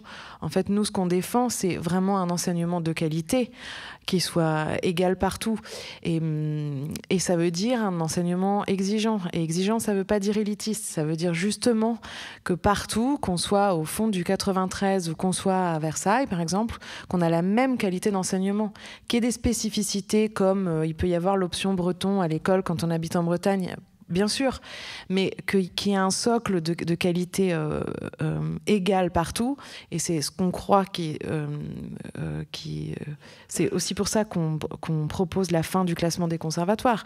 C'est vraiment la possibilité d'émulation, la possibilité de rencontrer des artistes, la possibilité de rencontrer des étudiants qui veulent en faire leur métier, peu importe la finalité en fait. Je sais pas faire moi la différence entre un débutant de 8 ans qui peut-être finira euh, professionnel ou qui finira amateur. Je ne sais pas faire de différence dans mes cours à ces deux enfants-là. La seule différence entre les amateurs et les professionnels, c'est qu'à un moment donné, ils ont choisi un métier ou alors ils en ont choisi une autre. Mais l'enseignement, lui, il n'a il a pas à changer en fonction de ça. On est là pour être pour proposer le mieux en fonction de chaque, de chaque élève. Pas pour prendre une décision pour lui avant que ça commence, quoi. C'est. Pardon. Je me permets parce que ça, ça je pense que c'est très intéressant. On parlait justement d'inégalité. Euh, moi, je suis personnellement comédienne danseuse et j'ai monté une association artistique, donc dans laquelle on enseigne aussi. Donc là, c'est un statut très différent. Moi, j'ai un 2, mais qui, enfin, euh, dans le sens, moi, chaque fois que j'ai enseigné, j'étais en, tant que contractuel parce que justement, j'ai monté cette association. Donc, euh, dans mon rapport aux collectivités, c'était bah, assez particulier. et là, je parle juste parce que actuellement, il y a deux phases, mais j'ai une association qui s'investit sur la Courneuve. qui donc une, bah voilà, on parlait du 93 et, effectivement de la déshérence aussi culturelle. Et c'est vrai que ce rapport-là, il y a le CR euh, CR, pardon, euh, d'Aubervilliers, donc de CR 93 et le pôle sup aussi qui est sur la Courneuve. Et effectivement, il y a une grande différence. Enfin, moi, je vois que donc ces, élèves, ces élèves-là, ces élèves-là, pardon, sont très contents parce qu'ils ont accès effectivement à des formations bah, de, qualité. Mais entre, euh, dire que nous, entre les, les, acteurs aussi, euh, donc pas au bas de l'échelle, mais dans le sens association qui proposons par exemple de l'enseignement, mais de premier ou deuxième cycle, ou qui sommes en rapport, ou même sur Paris avec des centres d'animation, par exemple moi, je vois, j'ai pu, euh, et qui sommes en, comment dire, employés en tant que contractuels, je voulais voir un peu, euh, enfin, je trouve que là, il y a vraiment un fossé entre ces premiers acteurs-là, ou même des écoles dites privées. Moi, je viens du théâtre et de la danse. Par exemple, sur Paris, il y a énormément d'écoles privées aussi de théâtre. Et ça fait le. Y a, je pense qu'il y a vraiment un, un, fossé, un grand écart entre les, le rapport à la culture qu'ont la, la plupart des, comment dire, des futurs étudiants qui choisissent ces formations-là, mais qui ont le sentiment que l'art, on va dire, c'est facile et que, enfin, je me comprends, mais qui vont aller dans, des, dans des écoles privées en pensant qu'ils vont finalement trouver une, une voie, enfin, un emploi ou des rôles comme ça assez facilement et qui ont l'impression en fait que, enfin, qu'il y a vraiment une coupure entre la voie dite professionnalisante dans des structures type conservatoire et, et, toutes les autres structures. Et là, je pense qu'il y a peut-être un lien aussi enfin, à trouver. On parlait d'élitisme ou même bah, de, dans, dans ces communes-là qui sont assez sinistrées. Il y a aussi vraiment, je pense, un travail à faire sur la vision même que les futurs étudiants peuvent avoir de la culture avec d'un côté bah, des, études, des, des, personnes qui se sentent laissées pour compte ou lésées culturellement et qui vont finalement se diriger vers des, des formations rapides pour trouver, euh, comment dire, dans le milieu artistique bah, des, peut-être de futurs emplois et, et, ceux qui vont se tourner vers des voies plus élitistes, plus voilà, plus académique. C'est vrai que ça, effectivement, on parle d'inégalité, mais je pense qu'aussi il y a un rapport à la, bah, tout simplement l'offre culturelle où c'est très difficile pour quelqu'un un cournevien, en l'occurrence, de se dire qu'il a peut avoir accès à, bah, au CR ou au pôle sup. Et, euh, voilà, ça, effectivement, euh, je pense qu'on parlait de l'enseignement artistique, mais il y a vraiment, je pense, un fossé là, et une vraie question si on veut traiter l'inégalité du rapport à la culture et de l'offre culturelle. Quoi. Oui, effectivement, euh, si euh, vous rarifiez euh, les institutions d'enseignement artistique et en plus vous les classez en termes d'offres, eh bien effectivement, c'est perçu comme une sorte d'élitisme. C'est pour ça que nous proposons d'abattre ce classement. Et que non, il ne doit y avoir que... on s'en fout si on l'appelle conservatoire à rayonnement régional, mais l'idée c'est que toutes les institutions euh, euh, euh, d'enseignement artistique proposent les mêmes, les mêmes cours, les mêmes disciplines, les mêmes départements à tout le monde. C'est pour ça que je m'amuse, on s'amuse souvent à, faire la, comparaison avec l'éducation nationale. Oui, l'éducation nationale va très bien, euh, va très bien, bon lapsus, va très mal en ce moment. Mais euh, on, peut dire tout de même qu'il y a un plan national dans, dans, dans les programmes, dans les, disciplines proposées. Euh, c'est pas à la carte des territoires. Parce qu'aujourd'hui, le discours de nos élus, c'est qu'il faut s'adapter au public. C'est catastrophique de dire ça. C'est ça le clientélisme euh, euh, euh, régional. c'est tout, le mépris qu'on peut trouver dans ce genre de phrase. Moi, quand je, de temps en temps, moi, je suis sur deux conservatoires et je vois bien la différence d'ambiance. en scène dans le 93 et Aix-en-Provence. Vous voyez un peu l'écart social que je fais, toutes les semaines en plus. Bien, dans le 93, euh, on a intégré qu'on est dans le 93. Ah, Rémi, tu es trop élitiste. C'est ça que j'entends de la part de, certains de mes collègues euh, et de ma direction. Ce sont des gens charmants, c'est pas le problème. Mais ils ont intégré que eux, non. Ils sont dans le 93. Et ils sont en CRC. Donc on ne peut pas faire autrement. C'est dégueulasse, me semble-t-il. Bernard?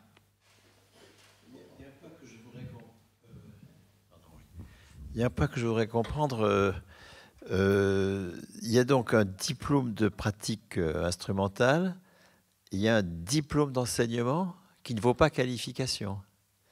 Exactement. Ce que vous demandez, c'est que le diplôme d'enseignement vaille qualification. Exactement, bien sûr. Ah, mais, quelle est l'origine de cette d'un diplôme d'enseignement qui ne vaut pas qualification? L'origine, alors là. Alors, le diplôme, euh, le, fameux DEM, diplôme d'enseignement musical, euh, d'éducation. d'éducation musicale, j'y arriverai pas.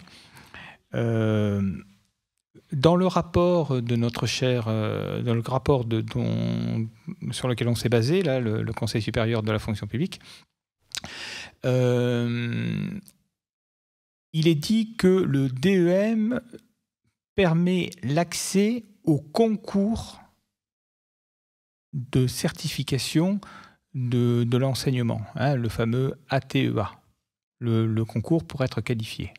Voilà. Euh, mais je, je, ne peux pas, Bernard, répondre à ta question. Je ne sais pas pourquoi euh, c'est comme cela. Mais ce qui est étonnant et ce qui nous a interpellés, parce que, bon, là, on va raconter notre cuisine, c'est que lors d'une séance interne au groupe Culture, nous avions déjà évoqué certains aspects en, petit groupe, euh, et, Bernard Friot était là. Et euh, je me souviens que tu étais extrêmement surpris d'entendre cela, comme tu l'es encore ce soir. Et on s'est fait réflexion, Emmanuel et moi, alors que nous, ça nous surprenait absolument pas. On a tellement l'habitude, pour nous, c'est tout à fait euh, normal. Et, et c'est toi qui nous as un tout petit peu alerté face à cette euh, bizarrerie, disons. Et effectivement, c'est très étonnant. Oui, parce qu'on comprend bien la distinction entre un diplôme de pratique artistique et un diplôme d'enseignement. Enfin, diplôme d'enseignement, pour moi, ça ne veut rien dire, justement. C'est une qualification d'enseignement. Il y a un diplôme de pratique artistique et une qualification d'enseignement, oui. Alors ça, c'est lié à, à la pédagogie, disons. Depuis, on va dire, euh, une vingtaine d'années environ, les institutions se sont dit il faut absolument apprendre à enseigner. Il y a eu beaucoup de débats là-dessus, hein. il y a eu beaucoup de résistance, parce qu'on n'a pas attendu euh, justement les centres de formation d'enseignement euh, pour enseigner hein, dans l'histoire. Et en musique, nous devons passer, c'est pas obligatoire, hein, mais de plus en plus passer dans ces centres, le CFDM ou les préparations au CA, au certificat d'aptitude. Et donc, au CNSM de Paris, on passe deux ans ou trois ans à avoir des cours sur la pédagogie. Pour moi, c'est un danger. Parce que ça formate énormément l'enseignement artistique. Ce qu'il faut voir, moi, j'ai pas fait les formations, mais j'ai servi de cobaye pour ces futurs enseignants c'est pour moi catastrophique. Ils racontent tous les mêmes choses et ça uniformise l'enseignement. Là, je ne parle pas des programmes, hein. la façon de la pédagogie, la façon de faire. Emmanuel n'en a pas parlé, mais elle pourrait nous, nous, le dire parce que tu connais bien ça. Euh, toute la noble langue qu'il y a autour de, des nouvelles pédagogies. Euh. on, parle de, on parle de pédagogie de projet. Enfin, oh, il y a clairement, il y a clairement un court type. Il y a quand même, il y a clairement des choses à dire. Il y a, enfin, des choses à dire, des choses à ne pas dire. Il y a clairement des éléments de langage. Après, il y a une partie qui, qui peut être vraiment intéressante dans ces formations. Euh, euh, pédagogique, c'est la partie tutorat, où pour le coup, on, va dans une classe et on est euh, stagiaire d'un professeur euh, en poste, et là on échange. Et on, voilà, on échange, on donne cours, on, discute de ce qu'on a fait, et cette partie-là, elle peut être vraiment, vraiment intéressante. Mais en fait, en effet, ces formations-là sont sanctionnées par un diplôme et, et qu'on a complètement dissocié de la qualification d'entrée dans la fonction publique territoriale.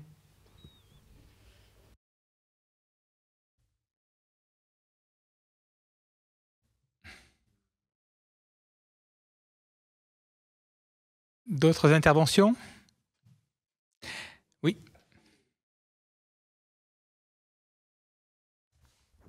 Merci. Merci pour votre intervention. Euh, ce n'est pas du tout une question, c'est juste des, petits points de détail. Vous avez beaucoup parlé de, euh, l'employeur qui était un maire. Aujourd'hui, c'est également les collectivités territoriales. Euh, voilà, c'était juste une.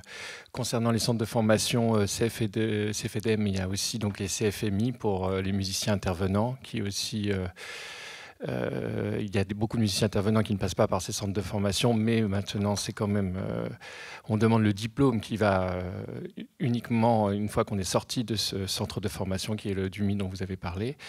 Et pour vous dire qu'il y a des DUMI, des DUMistes, parce qu'on nous appelle par ce, ce doux sobriquet, qui sont de catégorie A. Voilà, il n'y en a pas beaucoup, mais il y en a. Alors, ça n'existe pas dans les textes, mais ça existe dans la réalité. Alors, ça existe, oui, ça existe dans la réalité parce que euh, un concours à la qualification, on peut le passer par plein de biais différents. Donc, par exemple, le, le la qualification A de musicien intervenant en milieu scolaire n'existe pas. Mais par contre, euh, quelqu'un qui va être euh, euh, musicien intervenant, mais qui a les diplômes qu'il faut en piano, par exemple, peut tout à fait passer le concours de qualification PEA en piano. Et il, continuera à faire son métier, c'est-à-dire musicien intervenant. Et il sera validé catégorie A. Mais en tout cas, euh, quand même, la plupart des musiciens intervenants sont dumistes et, euh, et, ont ce diplôme-là. Et voilà, il arrive qu'ils en aient d'autres, mais souvent ils ont le dumi. Et ça, ça n'existe pas en catégorie A. Donc oui, on peut y accéder par un autre biais. Rémi, qui est pianiste et qui est aussi euh, pianiste accompagnateur, il peut passer le PEA dans ces deux disciplines-là. Et peu importe après le métier qu'il fera, il sera catégorie A, quoi qu'il en soit. Euh, c'est évoqué dans le rapport du, Conseil supérieur. Euh, il pose cette question euh, assez pertinente de pourquoi s'obstiner dans le concours de qualification à, vouloir introduire une notion de métier? Et parce qu'il voit bien qu'il y a un déficit. En gros, les collectivités, elles n'arrivent pas à trouver le nombre nécessaire de catégories A, de PEA. Alors ça les arrange, hein, on est bien d'accord. Mais euh, dans les faits, il n'y en a pas assez. Euh, un concours tous les 4 ans, vous imaginez un peu une nation comme la France, un concours de qualification tous les 4 ans. C'est hallucinant. Donc, euh, et alors ça, pardon, mais ça les arrange, mais par ailleurs, pour conserver l'agrément des CRR et des CRD, par exemple, il faut un minimum de professeurs catégorie A. Donc ils peuvent peuvent pas complètement se passer de cette catégorie-là. Mais on observe quand même énormément de postes euh, là où il n'y a pas besoin, par exemple, énormément de postes qui étaient PEA et qui sont pour le coup transformés en ATEA. Ça, c'est très, très, très souvent. Donc c'est important que dans ce concours, on enlève petit à petit toute référence au métier dans un concours de qualification. C'est, à mon sens, euh, vraiment euh, une réflexion que nous devons avoir collectivement. Hein. C'est pour ça que j'ai insisté au début pour faire cette distinction entre valeur d'usage et valeur euh, économique. La valeur économique ne dit rien de, la valeur concrète euh, de, la production de valeur économique. Et ça, c'est pas assez pensé. on entend encore beaucoup de, gens très estimables euh, quand ils disent qualification, ils pensent compétence, alors que ça n'a rien à voir. Donc ce sont euh, c'est des mots qu'il faut euh, nous en tant que agents de la fonction publique, qu'elle soit d'État ou territoriale, il faut quand même qu'on remette ce, cet éclairage dans, dans notre débat collectif. Et aujourd'hui, c'est pas gagné.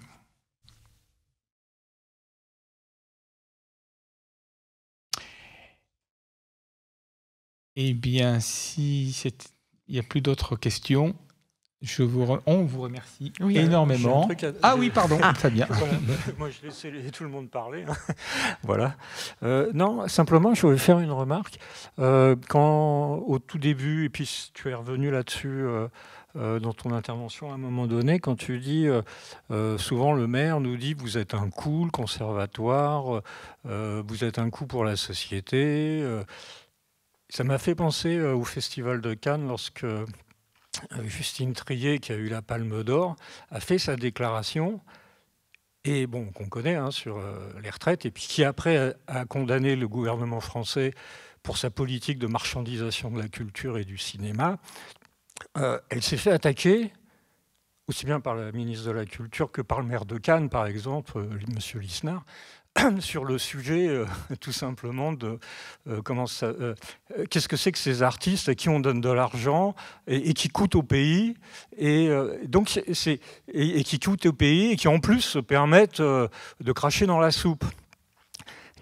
C'est-à-dire qu'il y a un lien quand même entre votre situation très concrète et dans la, société actuelle d'une façon globale, euh, des rapports de force politique tels qu'ils sont en train de se constituer autour de l'art. En général, pas uniquement l'enseignement artistique.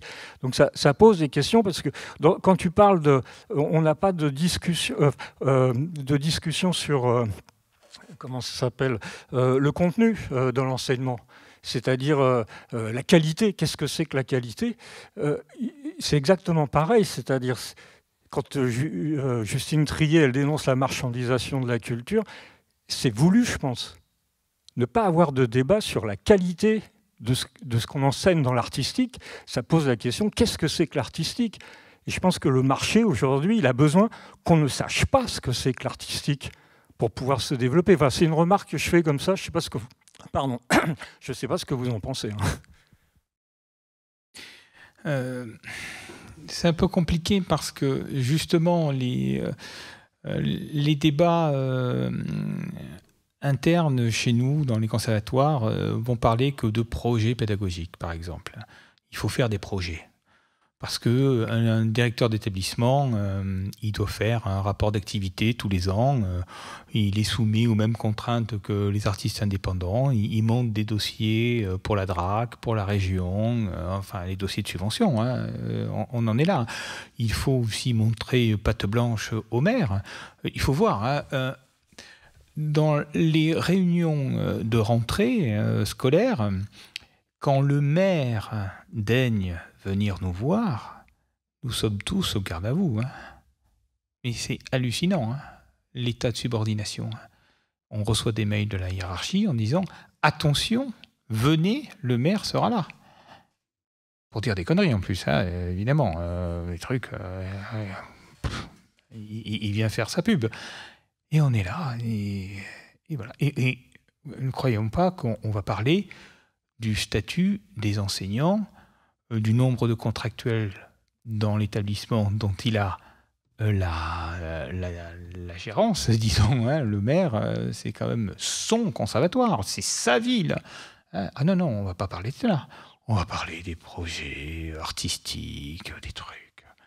Bon, oui, mais c'est, c'est pas. Il me semble que c'est pas là l'enjeu parce que les enseignants, ils savent faire le boulot. Encore une fois, ils peuvent monter des. Ils savent faire, faire des, des, projets artistiques passionnants. Mais si on ne donne pas, euh, encore une fois, euh, la souveraineté, euh, comme dit Bernard, la souveraineté des travailleurs sur leur lieu de travail, eh bien, effectivement, quand le maire arrive, on a tous le doigt sur la couture. voilà.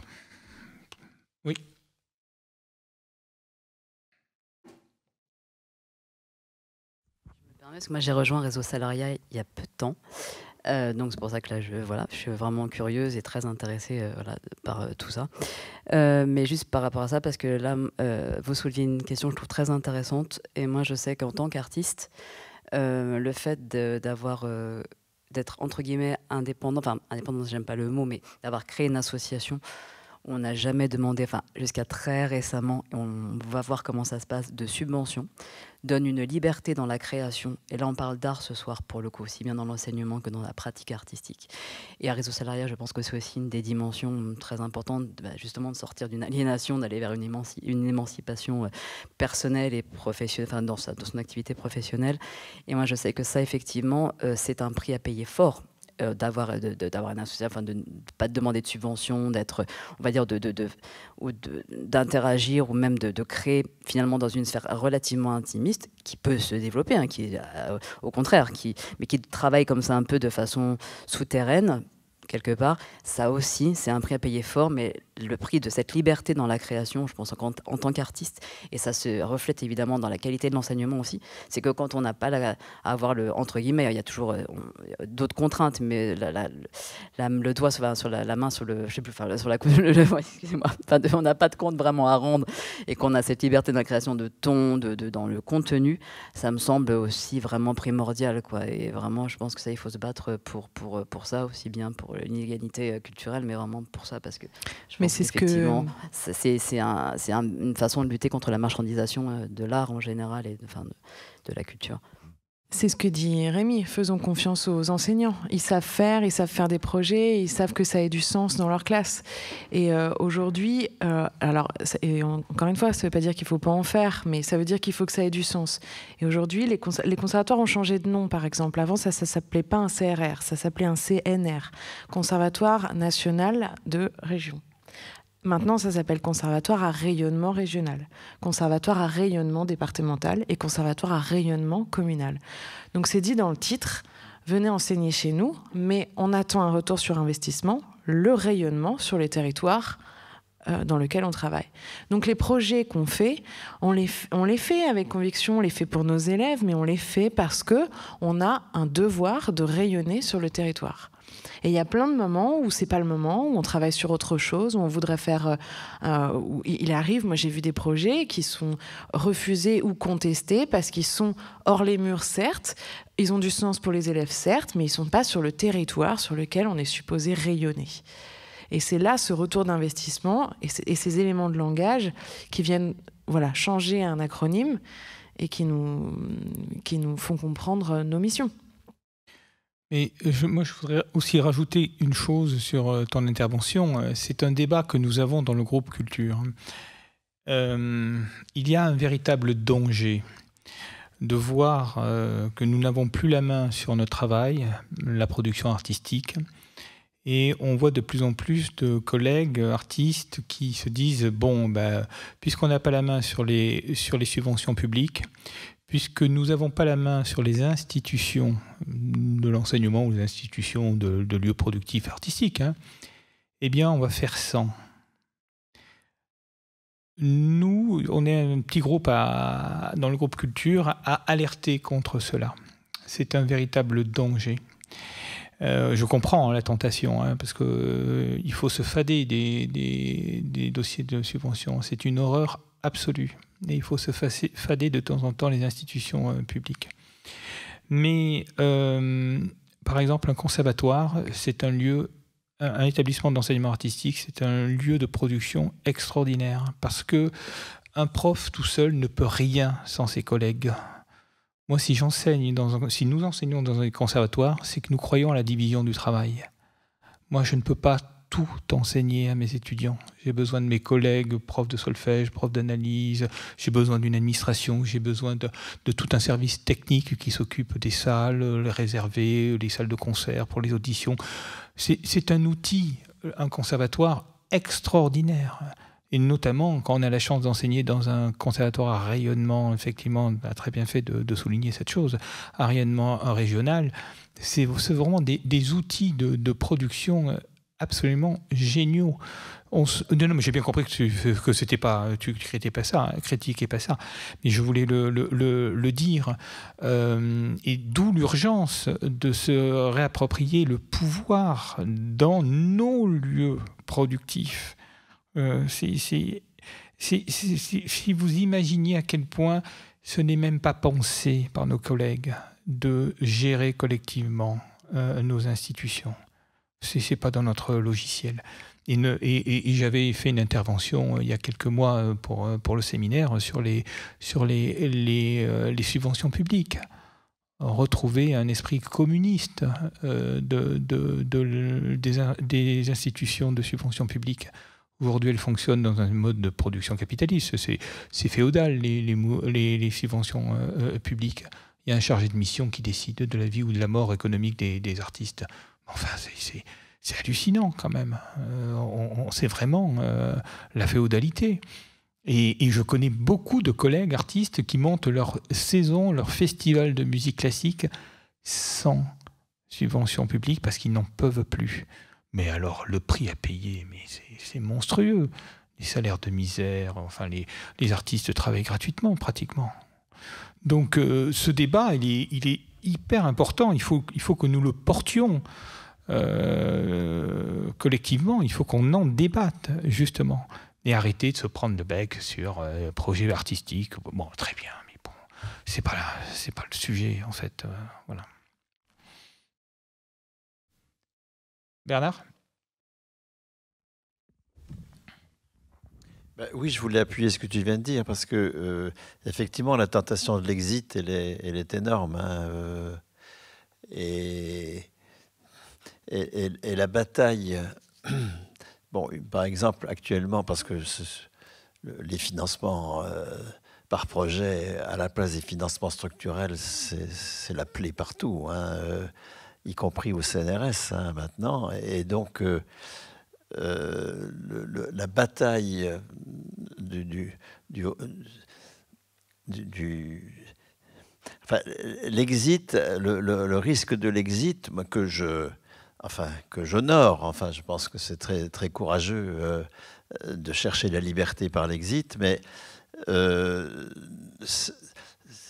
la, bataille centrale pour moi, c'est euh, une campagne sur l'illégitimité de tout financement par projet et la légitimité des seuls financements structurels. C'est vraiment... Euh, euh, on ne peut pas se contenter de... de, et, pardon, et,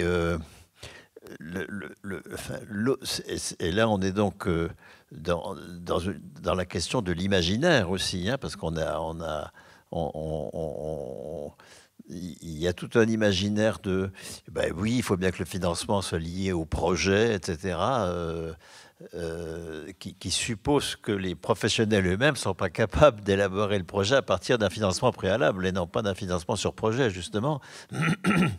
Et c'est exactement la même chose sur quoi tu insistais euh, en, posant le droit au salaire comme un droit préalable hein, et non pas comme un droit lié à une activité. Euh, euh, déjà faite, mais un, droit préalable qui rend possible l'activité, au contraire, et non pas qui, qui en est le résultat. Hein, c'est passer du salaire, et là où c'est vraiment un changement d'imaginaire, hein, euh, euh, tellement on est, on est acquis à l'idée que le, salaire ne peut être que le résultat d'une activité, hein, alors qu'il s'agit au contraire de de poser le salaire comme la condition de l'activité. Mais, tu vois, euh, tu as entendu ce qu'on a proposé, Bernard. Euh, c'est vraiment. Parce qu'on s'est posé la question euh, quand on, travaillait cet exposé avec Emmanuel de la logique des concours. Dans la fonction publique d'État ou la fonction publique territoriale, euh, le concours, ça veut dire bah, il y a tant de postes, euh, il y a beaucoup de candidats, voilà. Mais euh, si on arrive à, faire comprendre que le diplôme, qui est un, réussir son CA, par exemple, son certificat d'aptitude, puisqu'on ne veut que des CA finalement, on, réclame plus de, DE. Hein. Euh, catégorie B, on a dit exit, donc catégorie A, le CA. Eh bien, on se posait la question, oui, mais s'il n'y a pas, s'il n'y a pas assez de postes, eh bien, on s'est dit, ben, tant pis, euh, on aura notre qualification, donc on aura droit à un salaire, et, peu importe ce qu'on fait. C'est encore une fois euh, enfoncer un coin un tout petit peu dans, le système. Et effectivement, les, travailleurs qui, seront qualifiés, ils sauront quoi faire. Voilà.